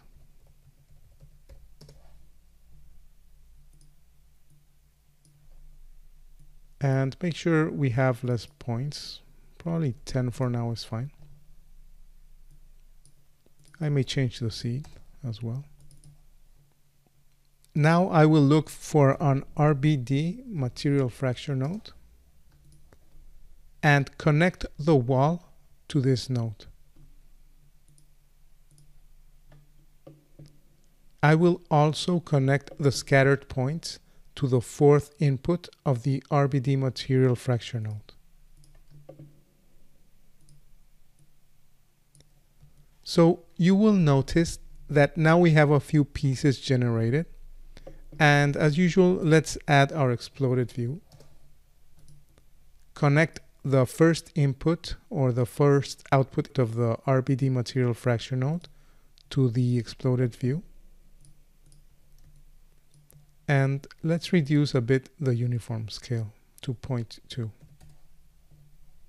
Right out of the bat, we have a few cells that look a little bit like the Voronoi cells that we created with the Voronoi fracture node. But in general, the RBD material fracture node is much more powerful. So let's take a look at some of the parameters. I will select the node. And the first thing you'll notice is that we have a material type. And by default, it's set to concrete. So let's first of all explore the concrete parameters and then we will take a look at the glass and wood. A small note before we continue it doesn't really make a difference for now if we have this fourth input connected. So actually I'm going to press Y and drag just to disconnect the scattered points. So notice how the cells haven't changed. Let's take a look at the parameters without this connection and then I will explain how this connection works. So notice how by default we have a fracture level 2 on this tab has some parameters for fracture level 2. For now, I will delete this level and add it back later on. So click here on the remove icon and I will just work with one level for now. So I will scroll down a bit and notice how first of all and probably the main option that you want to check first is the scatter points is set to 5 if I increase this scatter point, say to 20, I will have more pieces, just like as in the Voronoi fracture node. I can also change the seed if I'm not happy with the arrangement of the pieces. And notice how we have a scatter from a volume or an attribute. To use the attribute option, you need to have a density parameter on your geometry. But for now, we will work with this default volume option. And this is doing something similar that we're doing here with our ISO offset or with the create VDB from polygons node. So first of all, it generates a volume and here we have some options for that volume. And then it scatters a few seeds to create the Voronoi cells. So the main parameters on the fog volumes are the resolution in this case, 75 is usually fine. If you increase this value, you will have a higher resolution volume but a slower result. You can also increase the frequency and of course as usual you can offset the pattern to achieve a different cell distribution. And the main objective of this uh, volume noise is to have a fairly uneven distribution of points to avoid even sized cells which usually uh, looks unnatural. Let's go back to the cell points. And remember we had a fourth connection on the RBD material fracture? Let's connect back the scatter points that we had previously. And notice nothing new has happened. So by default, the RBD material fracture uses its own internal points to create the cells. If we reduce the scatter point to zero, we now have our original wall back to where we started. We could click on the input points to create our Voronoi cells. So if you select the scatter node and change, for example, the count, or even the seed, you will notice that now the RBD material fracture node is using the scattered points to generate the cells. So let's again reduce the number of points, say to 20 and go back to the material fracture node. And let's take a look into a few of the other parameters. So I will click on the chipping tab and click on the enable chipping option.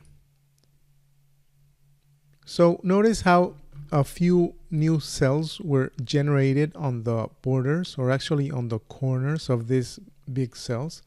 And this is nice to add more detail so you could change the overall ratio parameter to increase the number of chipped fragments.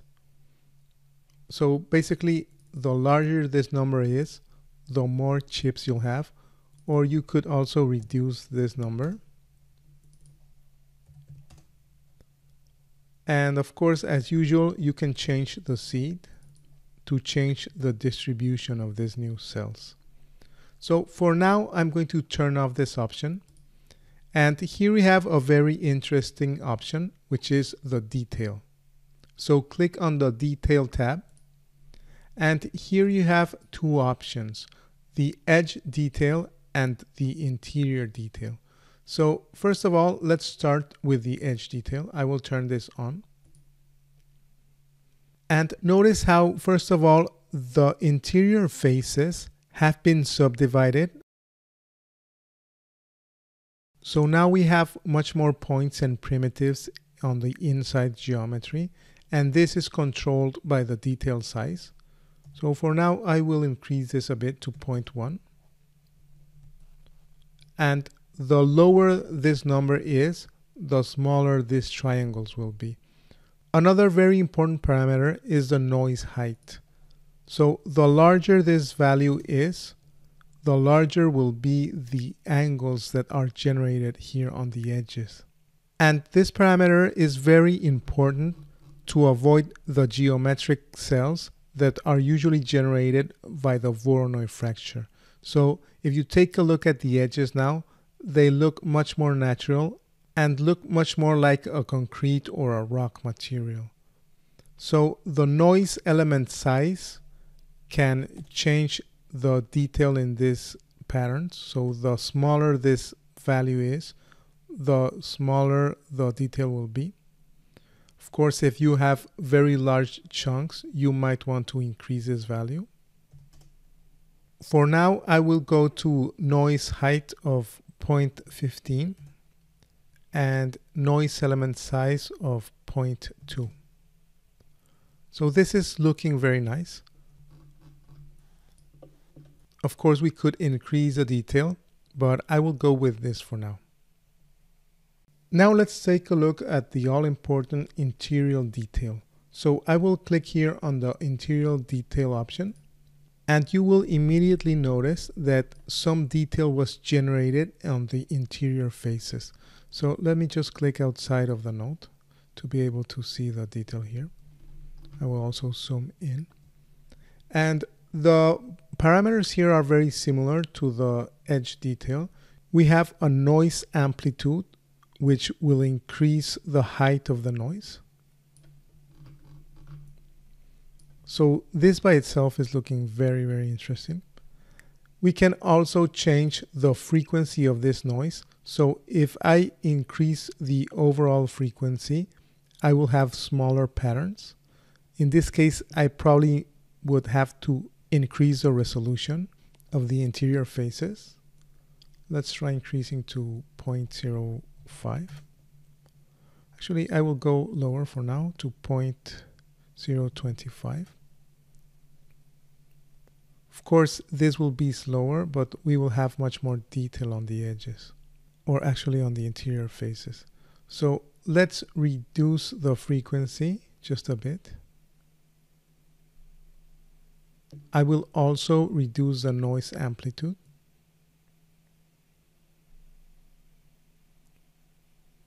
And this will greatly increase the detail in your fractured pieces.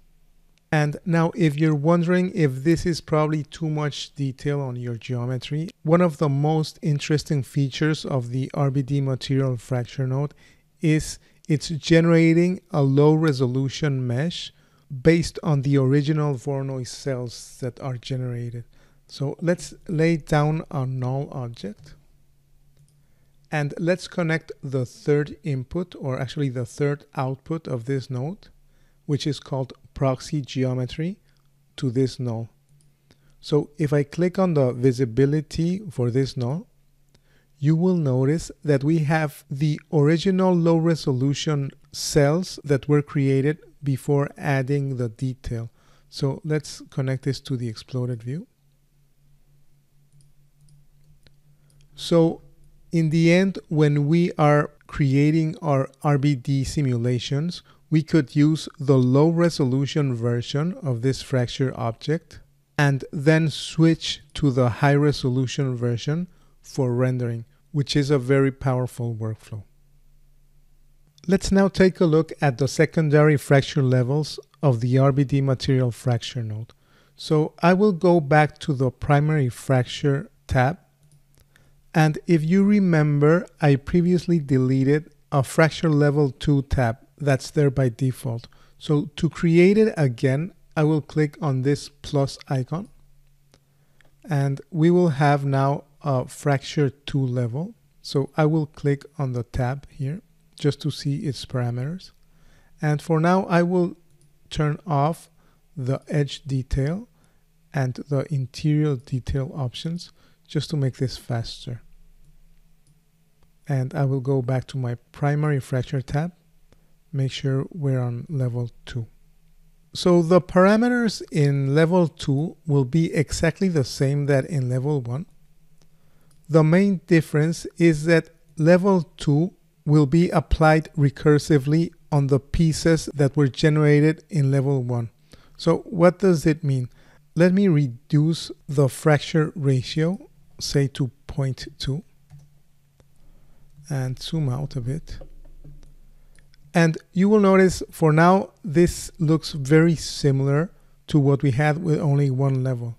So if I increase the ratio a bit, say to 0.6, you will notice now that some of the cells that were generated previously are now being broken again into several more pieces. And this is dependent on the scatter points value that we have here. So let me reduce this to three points. And now each one of these cells that were broken again have three pieces instead of just one. So let's increase this to 10, for example. And now we will have more detail. So let's try now increasing the fracture ratio to 0.9 again. And now only some of the large pieces will be left unbroken. So this secondary or even tertiary fracture levels can help us add detail and to break the uneven sized pieces that usually give away the Voronoi look. Now, a very important thing that you must keep in mind is that the RBD material fracture node is generating some groups for the geometry. So let me connect a blast node just below my exploded view. And if you go to the group area, you will notice that besides the pieces that have been generated, we have an inside group, which are only the inside faces that were created. Let me click on the delete non-selected. So these are the inside faces that were created for the Voronoi cells. We have also an outside group, which are our original faces. And beside those groups, we have a concrete fracture inside that were the first pieces that were created. And also a fracture 2 inside group. And these are the fracture level 2 pieces that were created. So these groups will become very important when we start creating our destruction. Probably we will use some of these groups to generate particles or probably to generate some volumes and increase the detail on our destruction. So I will delete the blast node. And I want to show you one last feature that will be very important also when generating RBD simulations. And it is this second output of the node. So I will connect the node to the second output. And you will notice we have a few connections and these connections are constraints that can be used further down the line to create our destruction. And although we won't be touching on constraint on these tutorials, we will be looking into constraints in detail in future tutorials. So just for you to know, remember that this second output and the second input of the node is used to generate this constraint. We will now look into creating glass with the RBD material fracture node. Although creating glass is a relatively straightforward process, it is very tricky to create nice glass fracturing without this node. So usually the RBD material fracture node is my first choice when I need to fracture glass. So let's take a look at how this works. I have a very simple box ready with a transparent material just to make it look interesting. And I will lay down a new RBD material fracture node and I will connect it to the box.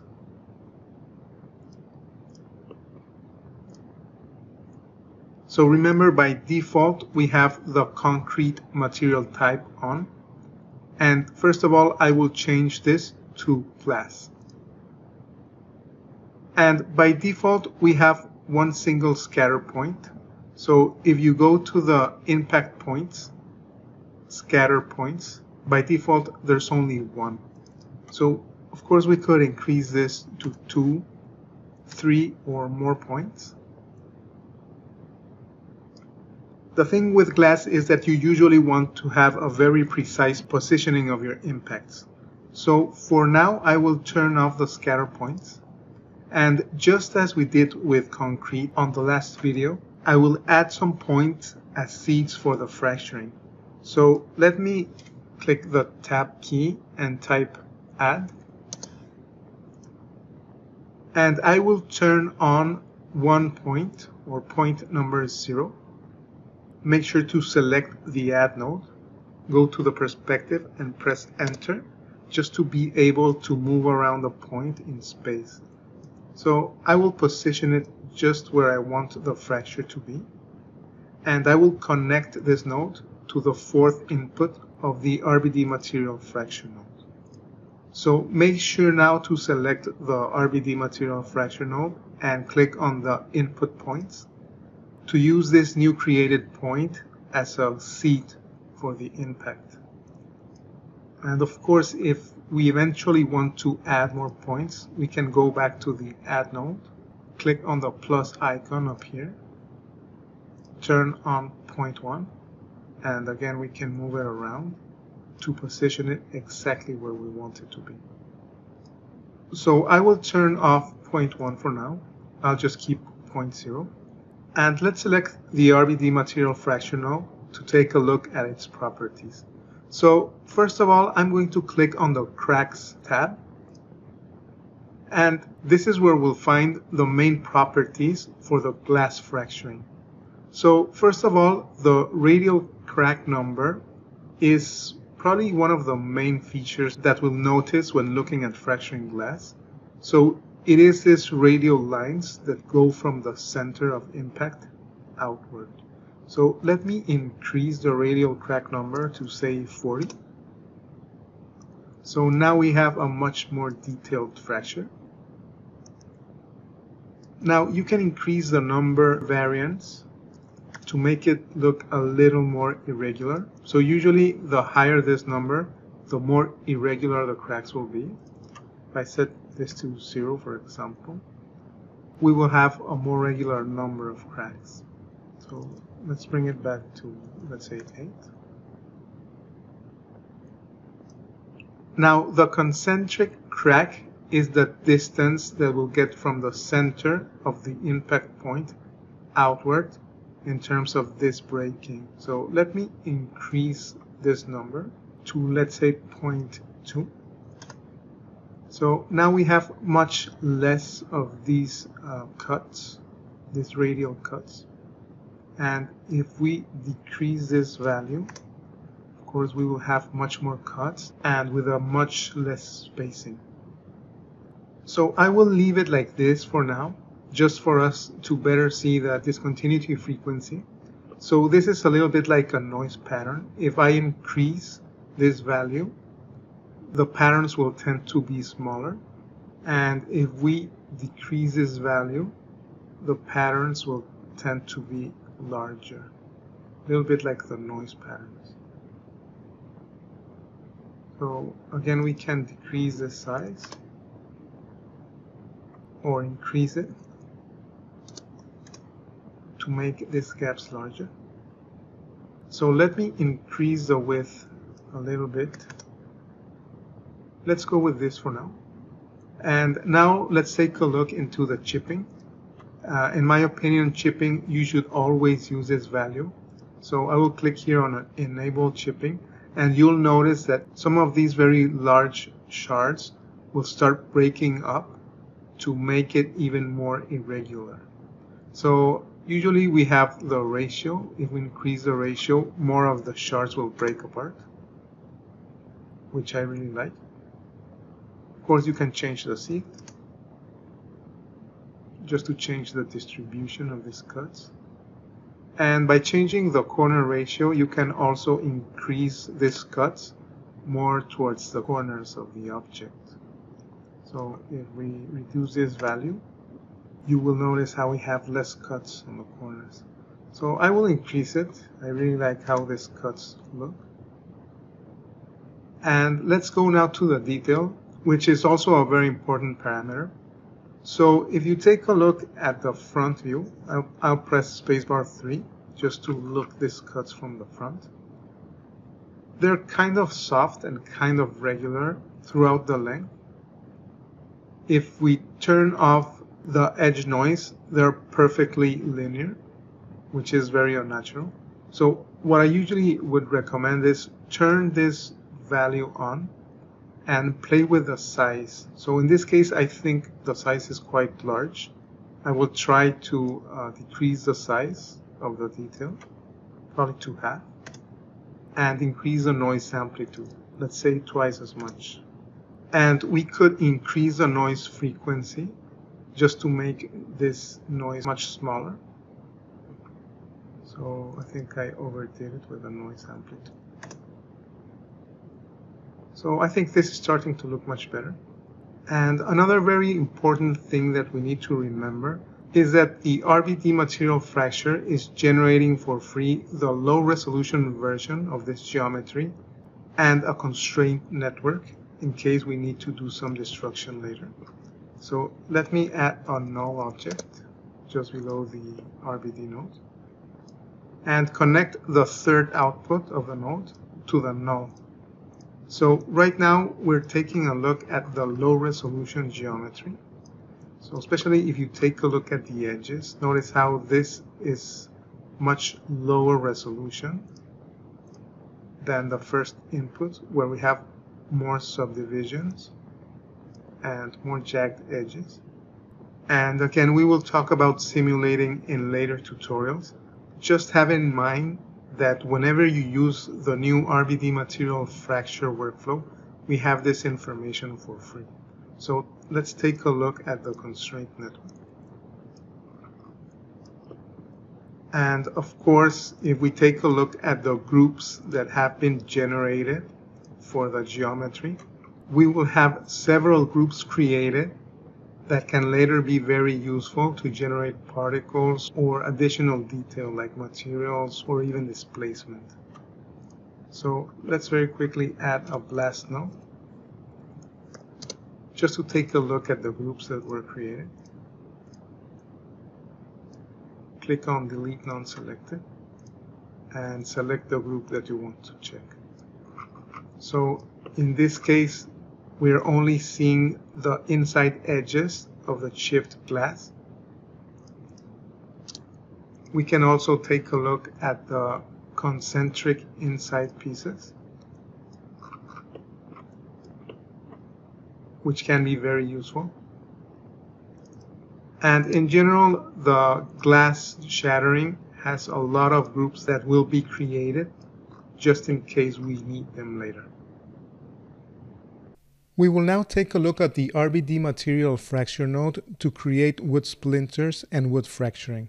For this exercise, I will be using this 3D model from Megascans, but remember, since I cannot distribute the models with the files, you can use a simple geometry or whatever 3D model that you have. So first of all, I will dive into the geometry node. And just below this null, I will connect an RBD material fracture make sure to click on its visibility icon. And remember by default, the material type is set to concrete. So before we change this, let's add an exploded view as usual. Just to better see the pieces that will be generated. So of course, in this case, the concrete won't work for us. So let's change that first. In the material type, change the type to wood And right off the bat, you'll notice that we have some nice splinters here. Of course, we can do better than this, but as we've seen earlier, to achieve this kind of splinters with the regular tools is not that straightforward. So let us go into the grain parameters. And probably here, the easiest way to explain how the wood works is changing the visualizing parameters. I'm going to look for the guide geometry option and turn on grains, which is what we're actually changing here. So you will notice that the grains will be created with a few intersecting planes and Boolean operations, just as we did in chapter 3. Now, the grain spacing is exactly the space that we have here between each of these planes. So if we increase this value, we'll have a much larger separation here. So in this case, we only have two planes. If we want much more detail, we could decrease this value. So now we will have much more cutting planes. So let me go back to the default. You can control and middle click on a parameter to set it back to the default value. Now the grain offset is a random offset that we will have between each plane. So the bigger this value is, the greater this random spacing will be. And of course we have a seed value. If we don't like the distribution that we get, we can always change this number. Now the grain noise is this noise that we get on each plane.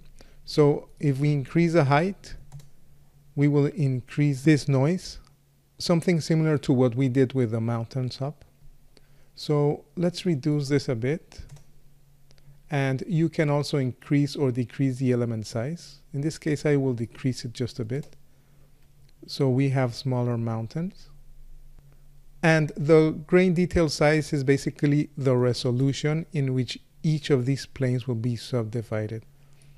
So in general, the closer you're going to look into the object, the more detail you want. And if you have, for example, a very distant shot or you don't need an extremely high resolution model, you can always increase this value.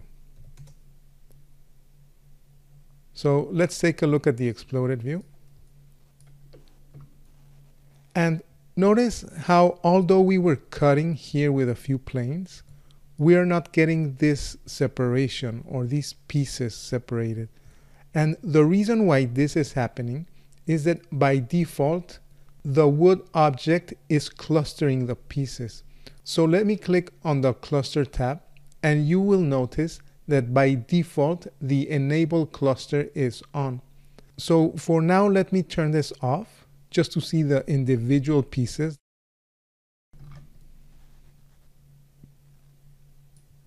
And here we can clearly see the cutting planes that we were using to generate these pieces. Let's now take a look into the cut parameters of the wood object. So first of all, let me turn off the exploded view. I will zoom into the object a bit and I will change the guide geometry to cuts. So the cuts are also planes that will generate shatter cuts, but this time through the length of the object. And for now, let me go down into the splinters parameters and take the splinter length to zero. And I will go back to the exploded view.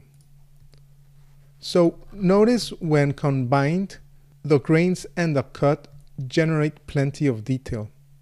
So let me click on the node again just to be able to change a few of these parameters. I will go back to the grain and turn off grain for now. So here we only have the cuts. This will help me see more clearly these parameters. So the spacing, of course, it's the space between each of these planes. The larger the spacing is, the less planes we'll have and thus the pieces will also be longer. Again, we have a cut offset, and this is a random distance between each plane. So again, if we increase this value, we will have larger random values between each plane. So this way we will have more uneven lengths of cuts.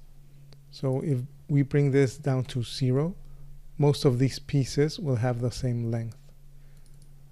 I usually like to increase this value a lot. And let me again go back to my visualizers. If I increase the curve noise, I'm increasing the amplitude of this noise. And if I want to make the noise pattern smaller, I can decrease the element size.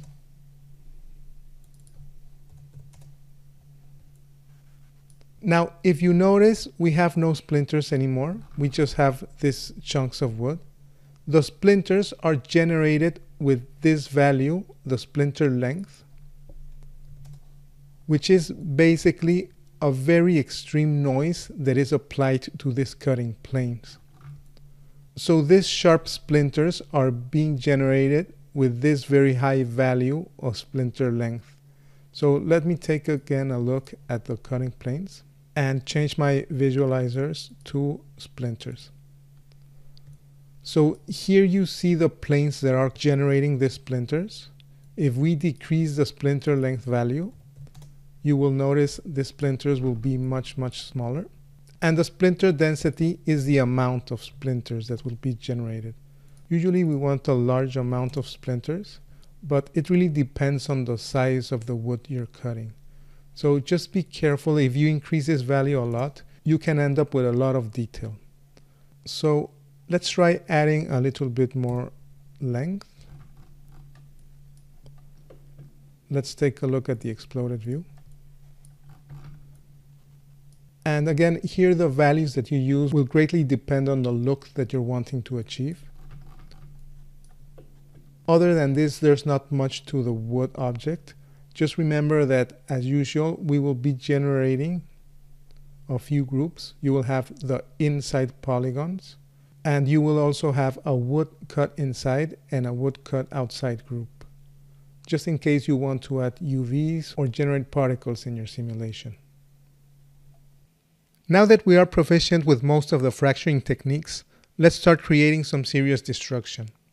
Throughout the Total Destruction series, we will be creating this shot from scratch. The idea is to create some fire, smoke, explosions, and to even make this building collapse, and have a finalized shot that you can create and customize for your own demo reel. I will be covering the layout, texturing, and lighting on a separate free video that you can also find through CG Circuit, and on following tutorials, we will start handling the fire, the rigid body dynamics, particles, and fluids. For now, we will start fracturing the building on the left that we will later collapse with a huge explosion. So let's get started. I will switch into a new scene where I have laid down a basic building and I did this with the Dan building node. This digital asset will also be provided with the files and it can be used freely in personal or professional projects. Now, before we start just randomly cutting and fracturing, it's very important to have a very clear idea of what's going to happen in your shot. So first of all, let me show you some reference that I gathered before I even started this project. First of all, let me show you a building collapse created by Main Road Post for the film Stalingrad.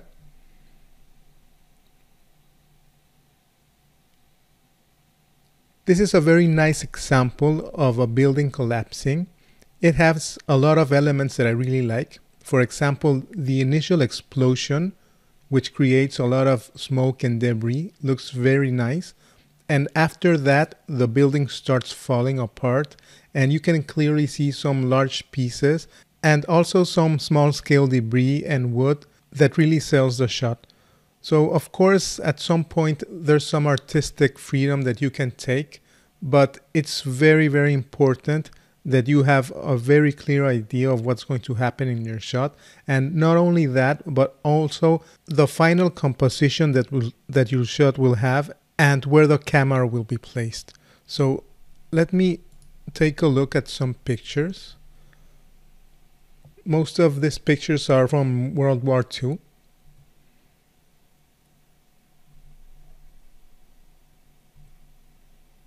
I really liked in these two pictures the idea of having a tank and probably in my shot we were going to have some shells exploding near the tank before the building collapses. But take a look at the level of detail that we have in the destroyed parts of the building. And usually we also see a lot of debris in the ground. Broken wood, broken concrete, bricks, rebar and iron. So all of these details we'll try to include, of course, depending on the time that we have, but the more detail you can add, the better. So let's go back to our scene. And let me show you the camera that we have. So this is a camera I created on the layout process. So this is very important because the angle of the camera and how close or how far we are from the building will give you the cue of where to fracture, where to add more detail, and how to create the cuts to control the collapsing of the building. So let me dive back into the geometry node and let me show you what I have in mind. I will create an explosion here and I will have some debris flying more or less towards the right of the screen. And after this big explosion, the building will start colliding downward. So a few more things that I want to prepare are a few frags and fissures here on the columns. More or less like this. This will allow the building to collapse freely in a vertical direction so I would need to make sure that the fissures go all the way back to the building. And of course, I will need a lot of detail for the debris coming from the explosion. So with this in mind, I will start creating some very localized fractures and pieces to achieve an interesting result. Now that we have a clear idea of how the destruction will take place, I will start scattering some points to create Voronoi fractures, or in this case, I will use the RBD material fracture node to generate some nice detail to the pieces. So first of all, I will lay down a VDB from polygons node.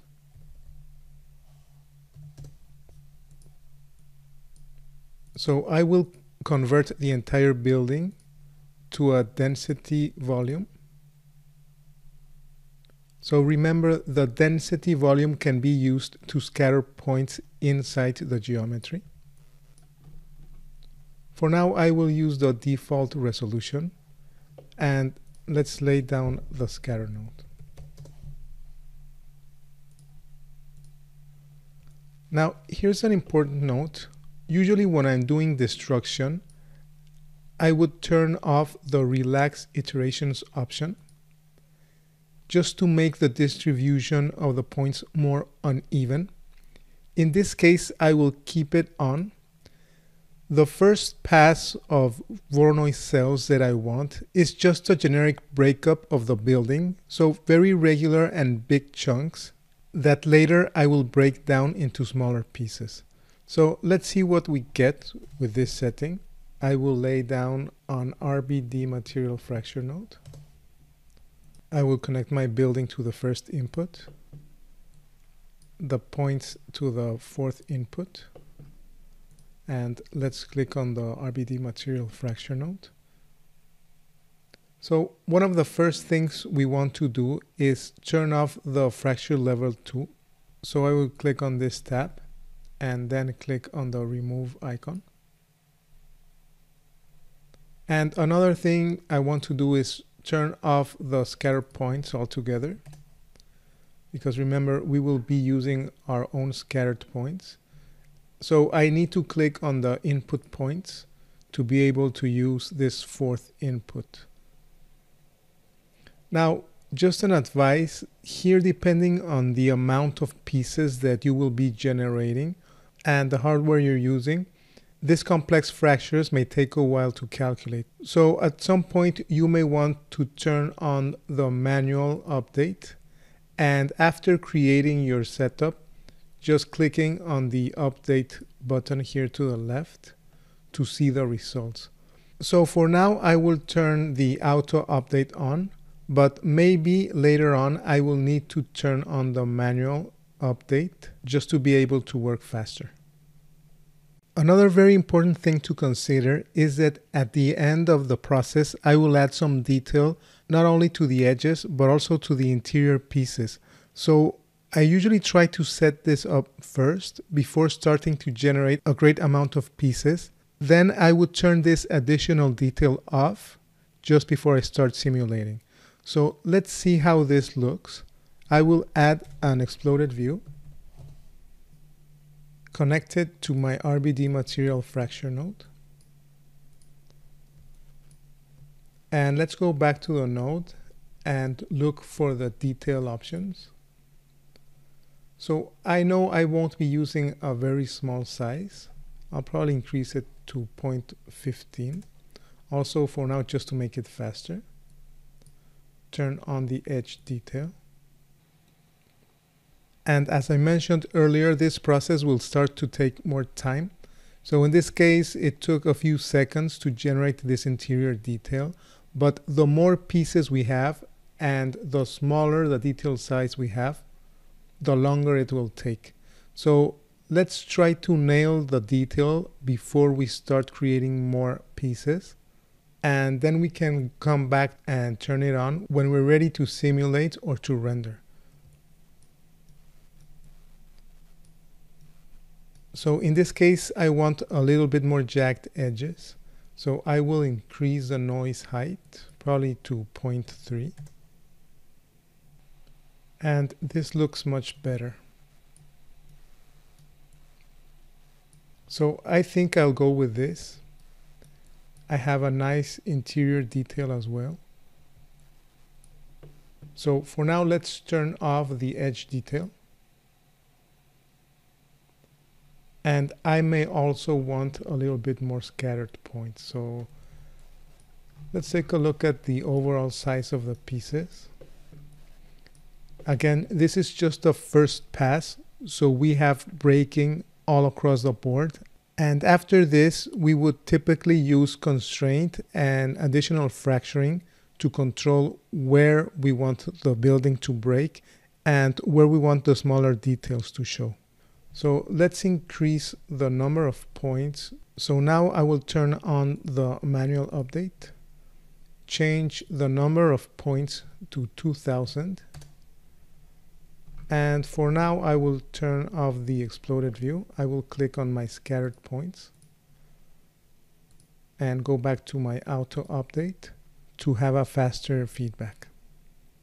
So remember our plan, we wanted to create some fractures just between the columns of the lower stories.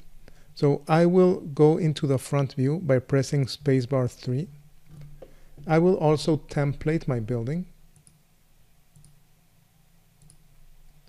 And I will create a plane or a grid object where I will be able to scatter a few more points. So I will change the size of the grid to say 30 by 30 meters. I may have to transform it and move it up a bit. So press enter on your perspective just to be able to manipulate it. And I'll make sure to put it exactly on the center of this column. And then I will apply an extrude, in this case a poly extrude node, just to give it some thickness. So let's try with a distance of one meter. Make sure that output back and back group are on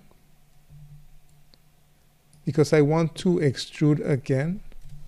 So I will add another poly extrude.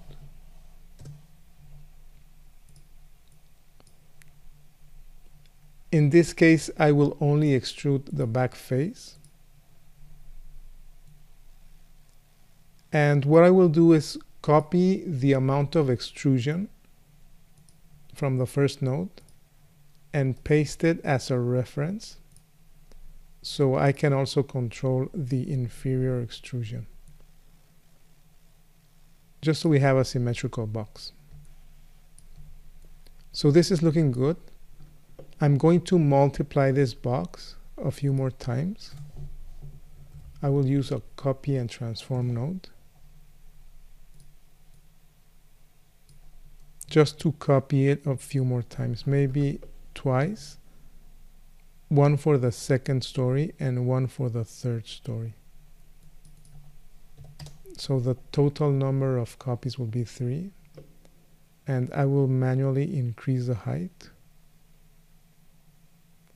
just about there.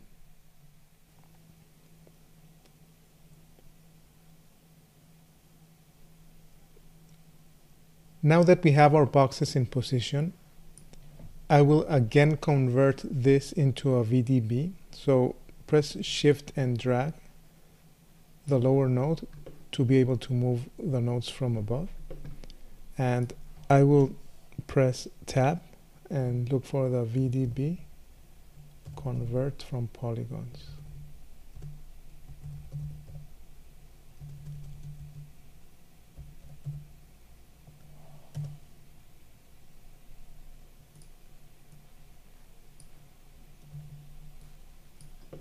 Again, make sure it's a density fog. And just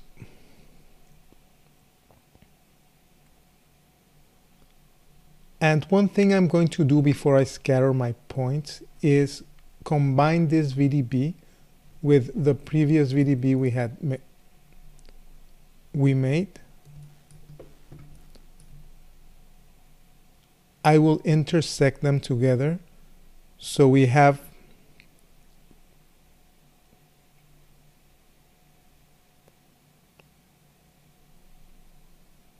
so we have the new scattered points only where needed. So lay down uh, a combined VDB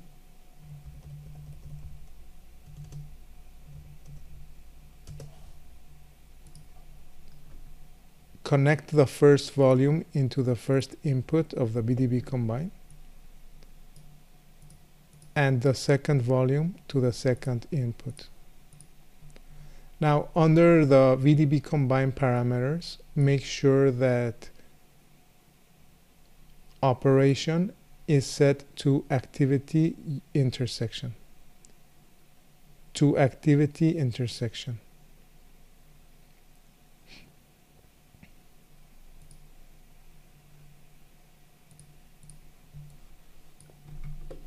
Okay, so this is looking good. I will add another scatter.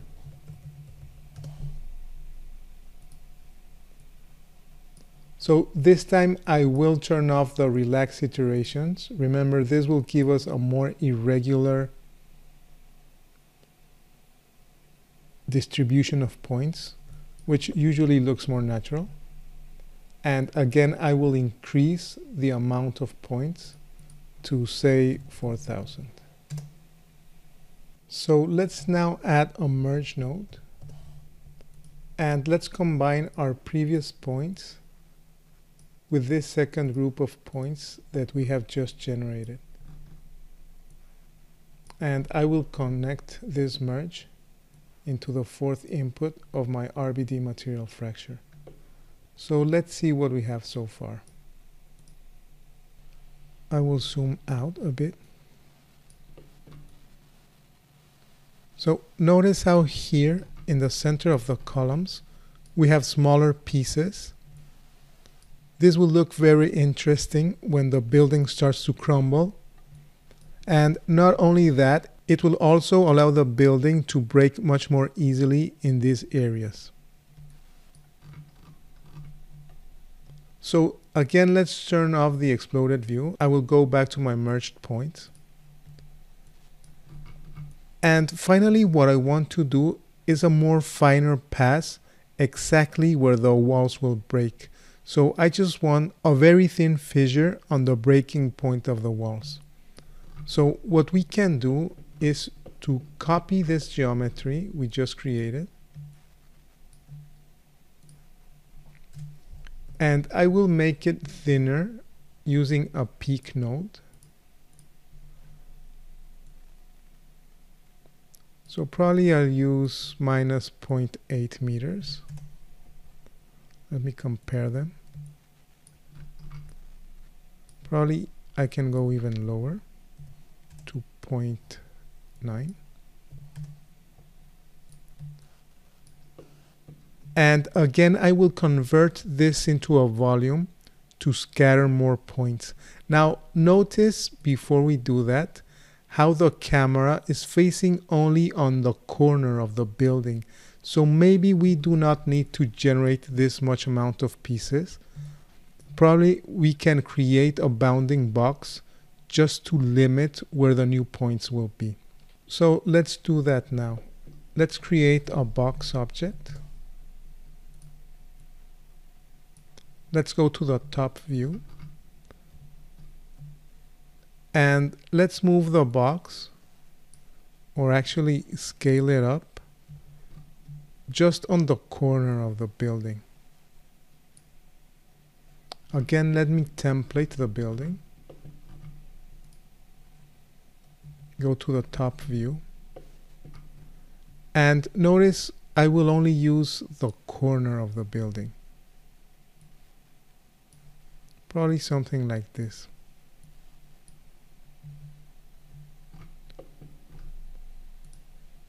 So let's add a boolean node and intersect the boxes that we first created with this new box. So remember by default we have the intersect operation which is fine in this case and let's now convert again this object to a VDB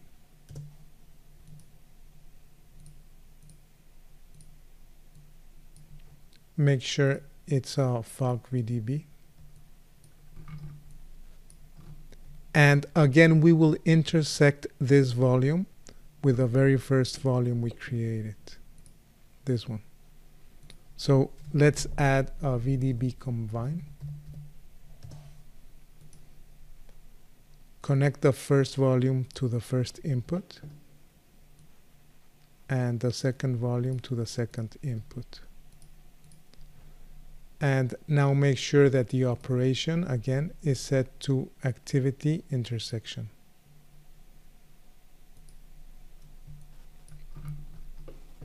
So this is looking good. Let's add our scatter node.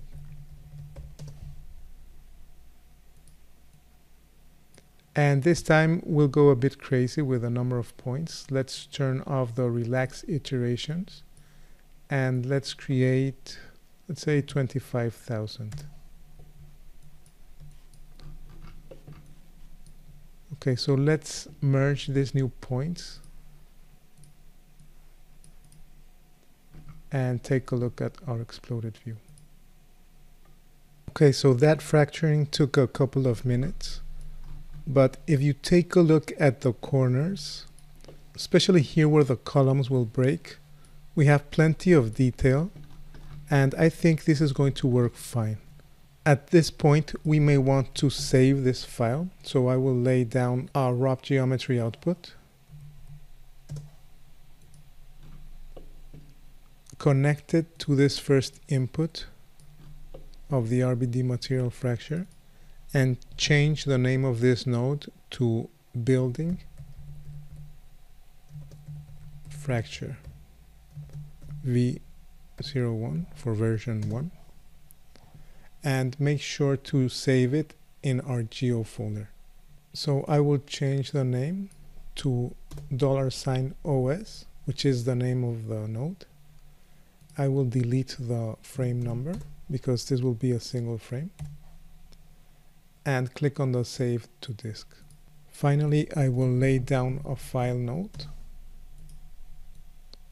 I will turn it blue.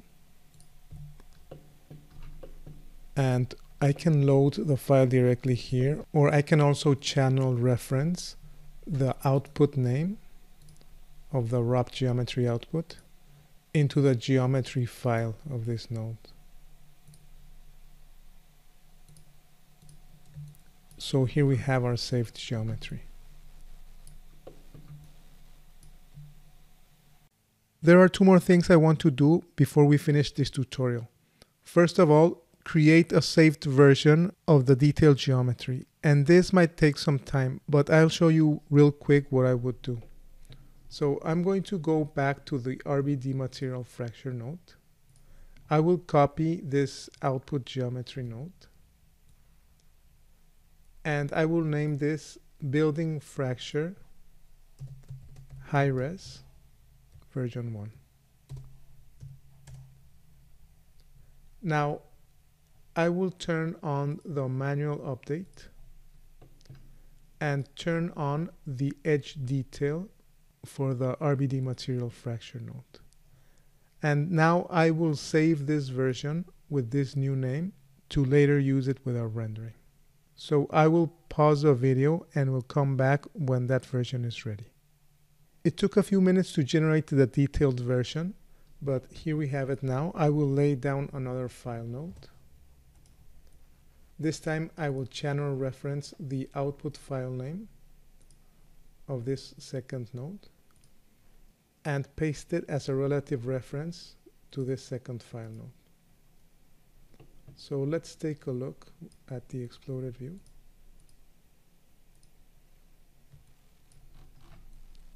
And here we have the high resolution geometry. And I think it's looking fine. One last thing I want to do is to quickly create an RBD test to have an idea of how the demolition will look like. So I will use a low resolution version for that. I will add a null object and I will call it out.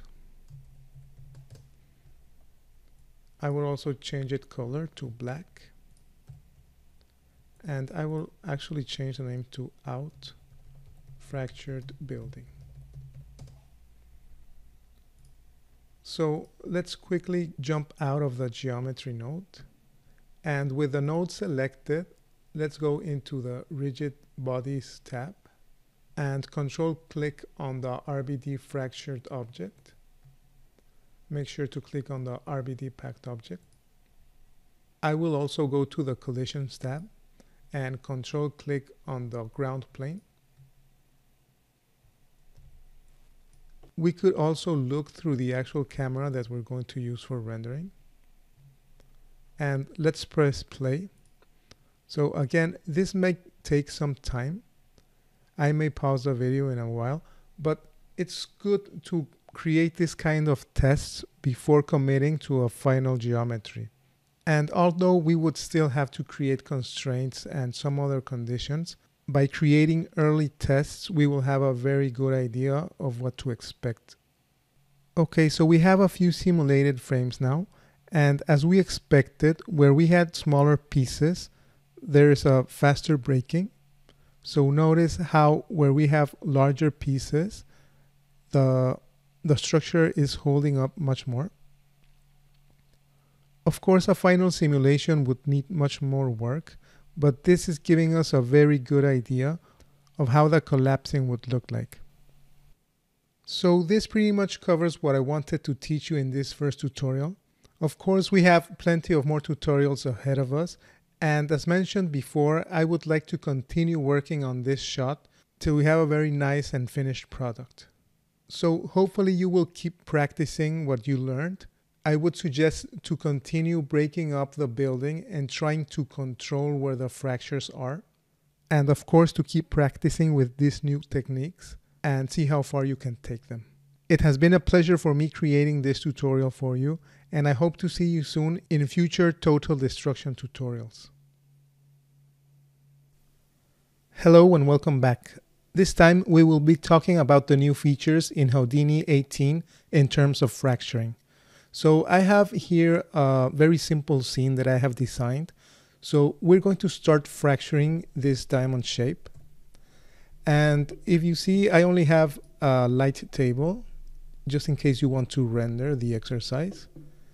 I have a base for the diamond shape and the diamond itself. I also have placed a camera and a few lights. Again, just in case you want to try and render it by yourself, that's fine. In the meantime, I will close this backdrop.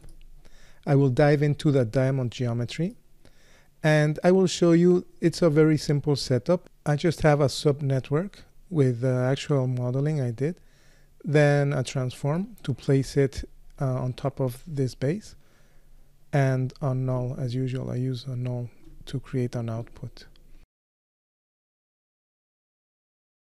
And here I have placed a few of the new nodes that we're going to be talking about. Well, actually the RBD material fracture is not new. We have worked already with that, but it has a few enhancements as of Houdini 18. And these three new nodes, uh, they are completely new to the, this new version, and we will be talking about them in a few minutes. So let's start by connecting the RBD material fracture node. And you will notice here, so if I zoom into the fourth input, it says extra Voronoi point, which it had already. But now to the right, it says cutter geometry. So I'm speaking about this small text that appears. So this is something new. And of course, I will be talking about it. So let's create the connection. Of course, um, I think we will create our own scatter points, but just remember the RBD material fracture by default can already fracture the geometry. So let me hide the other objects. I will hide other objects in the viewport just to make clear the point and to make sure that uh, you understand what I'm talking about. And now I will connect this new node that's called RBD exploded view. Actually, I will do it from scratch. So type the tab key and type RBD exploded view. So we can connect the RBD material fracture to the new node.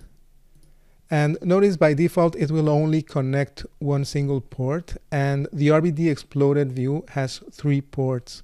What I recommend you to do is connect all three and you can do that in several ways. Let me actually create this node again.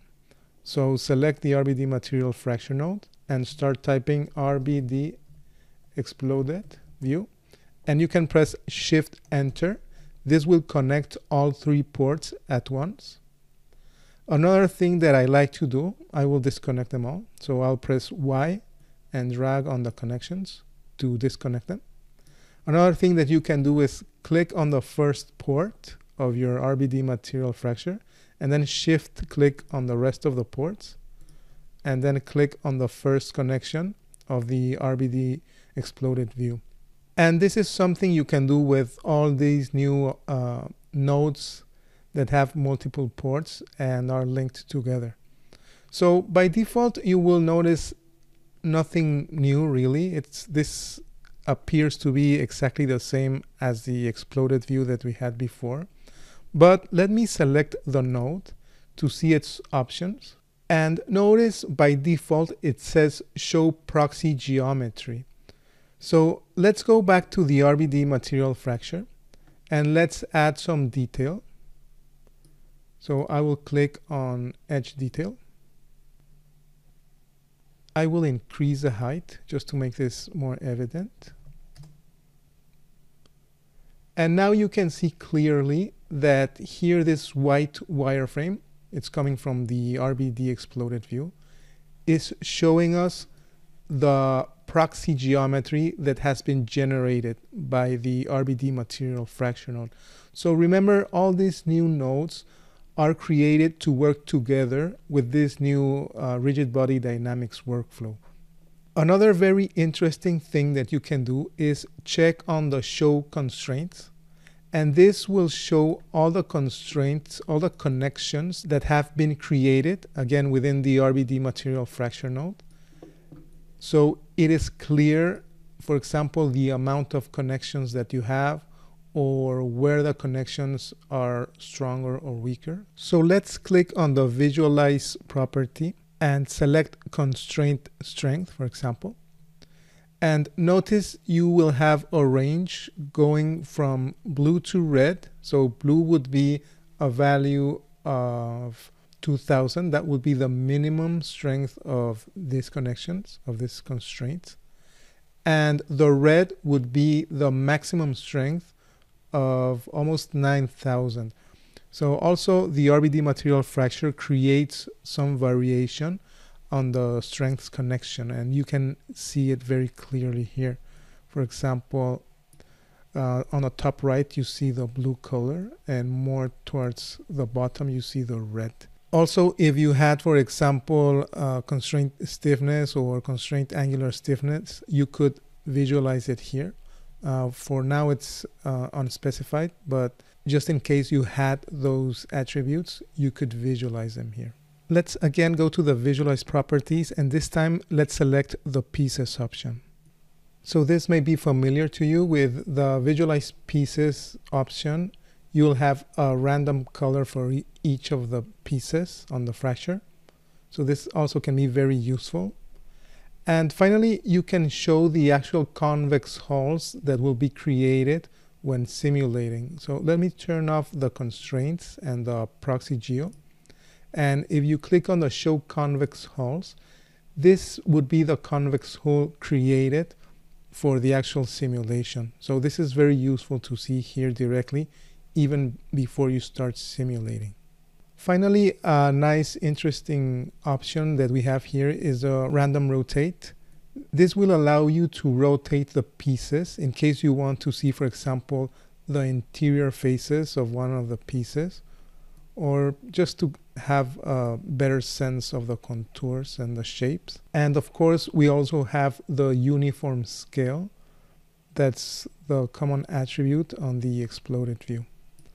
So this is for the RBD exploded view node. It may look like a simple addition, but I'm sure that you will be using it every single time you're creating fracturing for your destruction. Let's now talk about the RBD material fracture nodes chipping option. So chipping is not something that we didn't had before. It's just that it has been enhanced and now it's a very useful parameter to have in the RBD material fracture. So let's add uh, the chipping attribute. So actually I mentioned that I would create my own scatter points. So I will create an ISO offset node.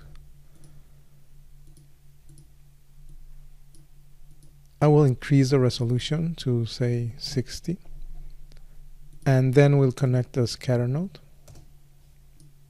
and of course we don't need that many points I will reduce the number of points to say 20 and connect the points to the fourth input on the RBD material fracture so back in the material fracture node, I will just use the input points. So I'll reduce the scatter points to zero. I will click on the input points. Actually, I also need to delete the second layer. So we're just using the scattered points. So click on the input points and again I will create an RBD exploded view shift enter to connect it and I'll move it a bit to the left so I usually like to click on the pieces to create the random colors we just talked about and for now I'll change the uniform scale to zero and back on the RBD material fracture node, I will look for the chipping option and turn it on. So you probably remember from lesson number four, we did turn on the chipping option for the node in Houdini 17.5. But to be honest, it didn't work quite well. I actually didn't use it really in production. Uh, it generated kind of like uh, random smaller pieces here and there but they really didn't look very natural. Now the new uh, chipping option is very nice and let me for a moment turn off the colored pieces and zoom into these corners here. So notice how there have been created a few smaller pieces where the corners of the larger pieces are. So they're not like random pieces here and there. Uh, the chipping option tries to look where we have sharp angles or larger angles and it will not only create small pieces there, it will also start to round the shapes a little bit more. So here you can see this large piece has been rounded a little bit with these new pieces. So you can increase the chipping ratio. So this will create more chips. Of course, you could reduce this number, but usually you can bring it very high. I'm going to try with 0.9. Of course, you can change the seed if you are not completely happy with the arrangement of the pieces.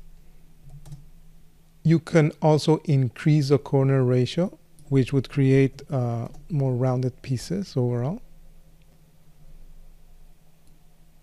And it has a few other options, the corner depth and the directional noise. I haven't seen much change with these options, but you can experiment. Uh, overall, I really like this new feature. Uh, I have been using it a lot. Now when I create concrete, I usually turn it on. So let me go back to my exploded view. And you will notice how in between these larger pieces, lots of smaller pieces have been created and not not only that also we will uh, get a new set of constraints for the chips that are usually set with a lower strength value than the other pieces so th these small chips will be the first one to fall apart when you, when doing an RBD simulation and it usually looks very natural so give it a try and I'm sure you will find it very useful in your future RBD simulations we will now talk about the custom shape fracturing within the RBD material fracture node. And this is something very similar to what we did in chapter 3. So now you can use any custom shape that you want to cut through your geometry to fracture it. And as we have already seen, this makes fracturing very art directable and very controllable. So let me show you an example. I will create a grid. I will template the diamond and move the grid upward so it intersects with the diamond.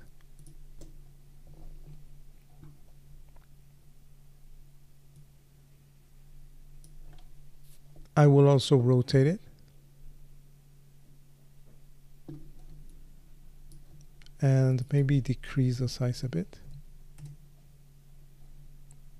I will go back to my RBD material fracture node and I will change the material type to custom.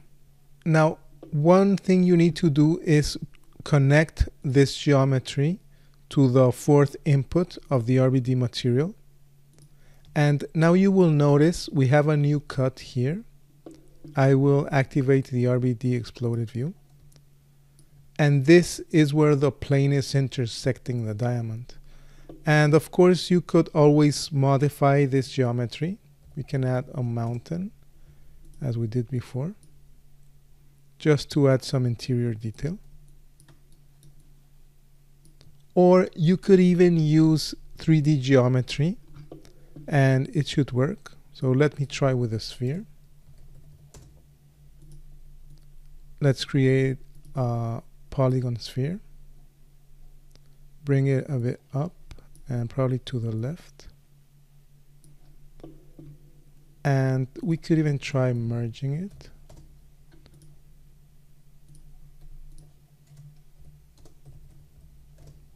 So let's merge the grid that we already have with a sphere. So there you go.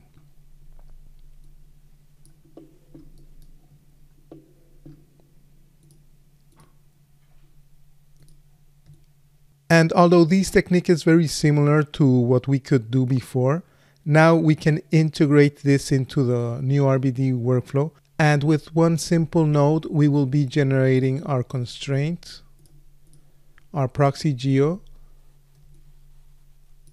and all the good stuff that comes with the RBD material fracture node. I will now talk about two new nodes that, although they are used for several things, their main purpose or the main thing that I will be using it for is to fix the fracturing in transparent objects. So let me show you an example. I have pre-fractured this diamond and I have rendered it with and without fracturing. This frame is without the fracturing applied and the next frame is with the fracturing applied. So here you will notice that we can see the interior faces and this is causing a lot of inner reflections and inner refractions. And of course this doesn't look right, especially if you have an animation where uh, you have the complete diamond and then you're going to shatter it or break it somehow. So let me show you the final animation and what I would like to achieve. So if I hit play here, you'll notice how as the diamond falls, it looks complete. You won't see the interior faces, but once it starts breaking, so here on this first frame where it breaks, you can start seeing the interior faces and as it continues breaking the new faces will start being visible. So this is a very useful tool. Of course you could do this before um, mainly with compositing tricks or with animation. You could animate the position or the visibility of the geometry or even what I used to do was in comp I would uh, render two passes, one with the shattering and one without the shattering, and you could just switch them at the right time. But this will help us to do everything within the Houdini environment without additional keyframing or custom tricks. So let me minimize this. And I have gone ahead and created a series of points just to shatter the point of the diamond and I will connect this to the RBD material fracture node. I may need to change this to concrete. I could also use uh, glass, but just to show you, it doesn't really matter if you're using glass or wood or concrete. The technique will work regardless of the material type you're using. So let me again hide the rest of the object. Go to my RBD exploded view. And here are my new shards. These are the new pieces that are being generated. And if we tried rendering this, let me go to the render view, select my camera, and I have already created a mantra node. So if you go to the output, this is a mantra node that will be rendering the scene. So of course I won't wait for the scene to render. It's taking quite some time to render. Uh, this is why, sorry, I have the, the examples here pre-rendered. So this is what you're going to get once the diamond is fractured.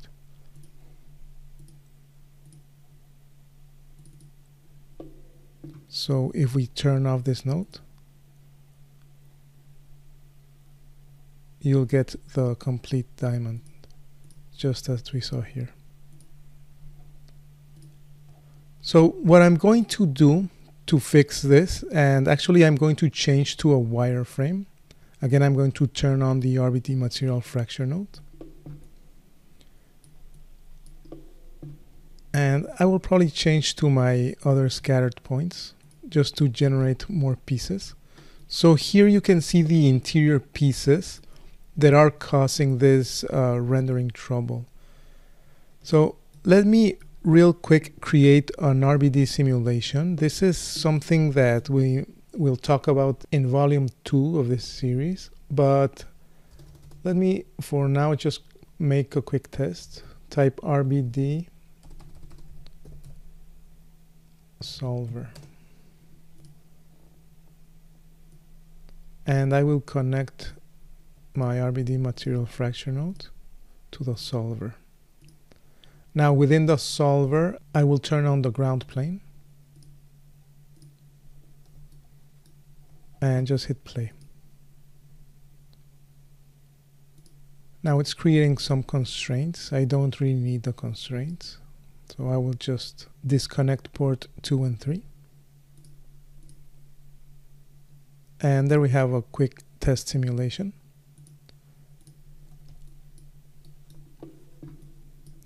Okay, so I'm going to add on RBD disconnect faces node. And I will also add on RBD connected faces node. So these nodes work together. First of all, I need to plug in the RBD connected faces. And this will generate the list of faces that are being created and it will assign them an attribute called face ID. It will also create an attribute called primdist that is measuring the distance or the position between each of these faces and the distance between them. So let me show you in a more practical way. It's easier if I show you here with the example. I will simulate a few frames. And if I go to my geometry spreadsheet and click here on the primitives, you will notice that now we have this face ID and the distance. Actually, I accidentally changed the name, so I will control and middle click this uh, distance attribute to revert it to the default name. So here we have the prim dist, which is the distance between each primitives, and the value will be very, very low. Most of them will be zero. Actually, all of them are zero. These are very, very low values. And now we can go back to the scene view and I will connect the RBD disconnected faces after the simulation.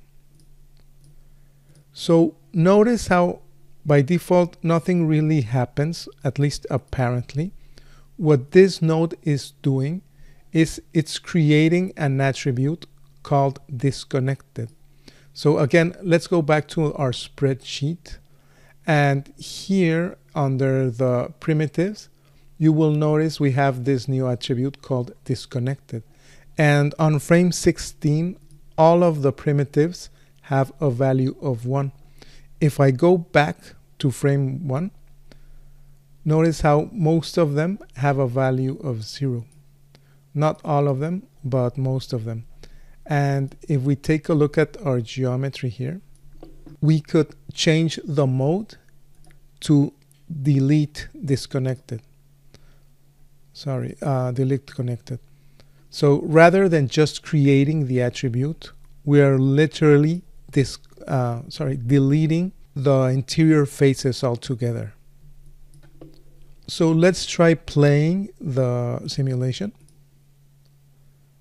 And notice how the faces, the interior faces, will immediately appear when they are separated more than this distance, uh, which the default value is very, very low. So the moment this, they start separating from each other, the interior faces will appear. We could try increasing this value and you'll notice how now we cannot see most of them. But usually you want to keep this very low value. So this is how this animation was generated. I'm just using the default value. And the moment it starts breaking, the interior faces will appear and will be rendered. So again, here we cannot see the faces. In frame 9 there was a contact.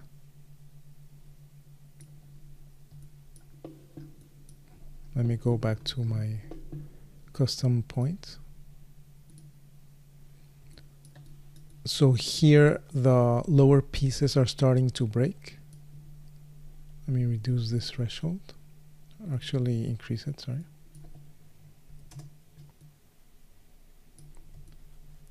So here we only see the lower pieces being displayed.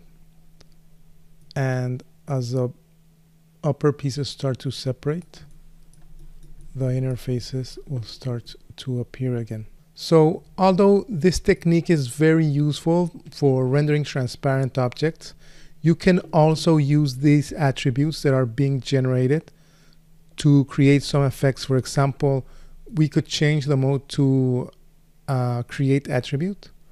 And probably when we have a disconnection between these pieces, we could generate some debris or particles or even create a fluid simulation with this flagged primitives.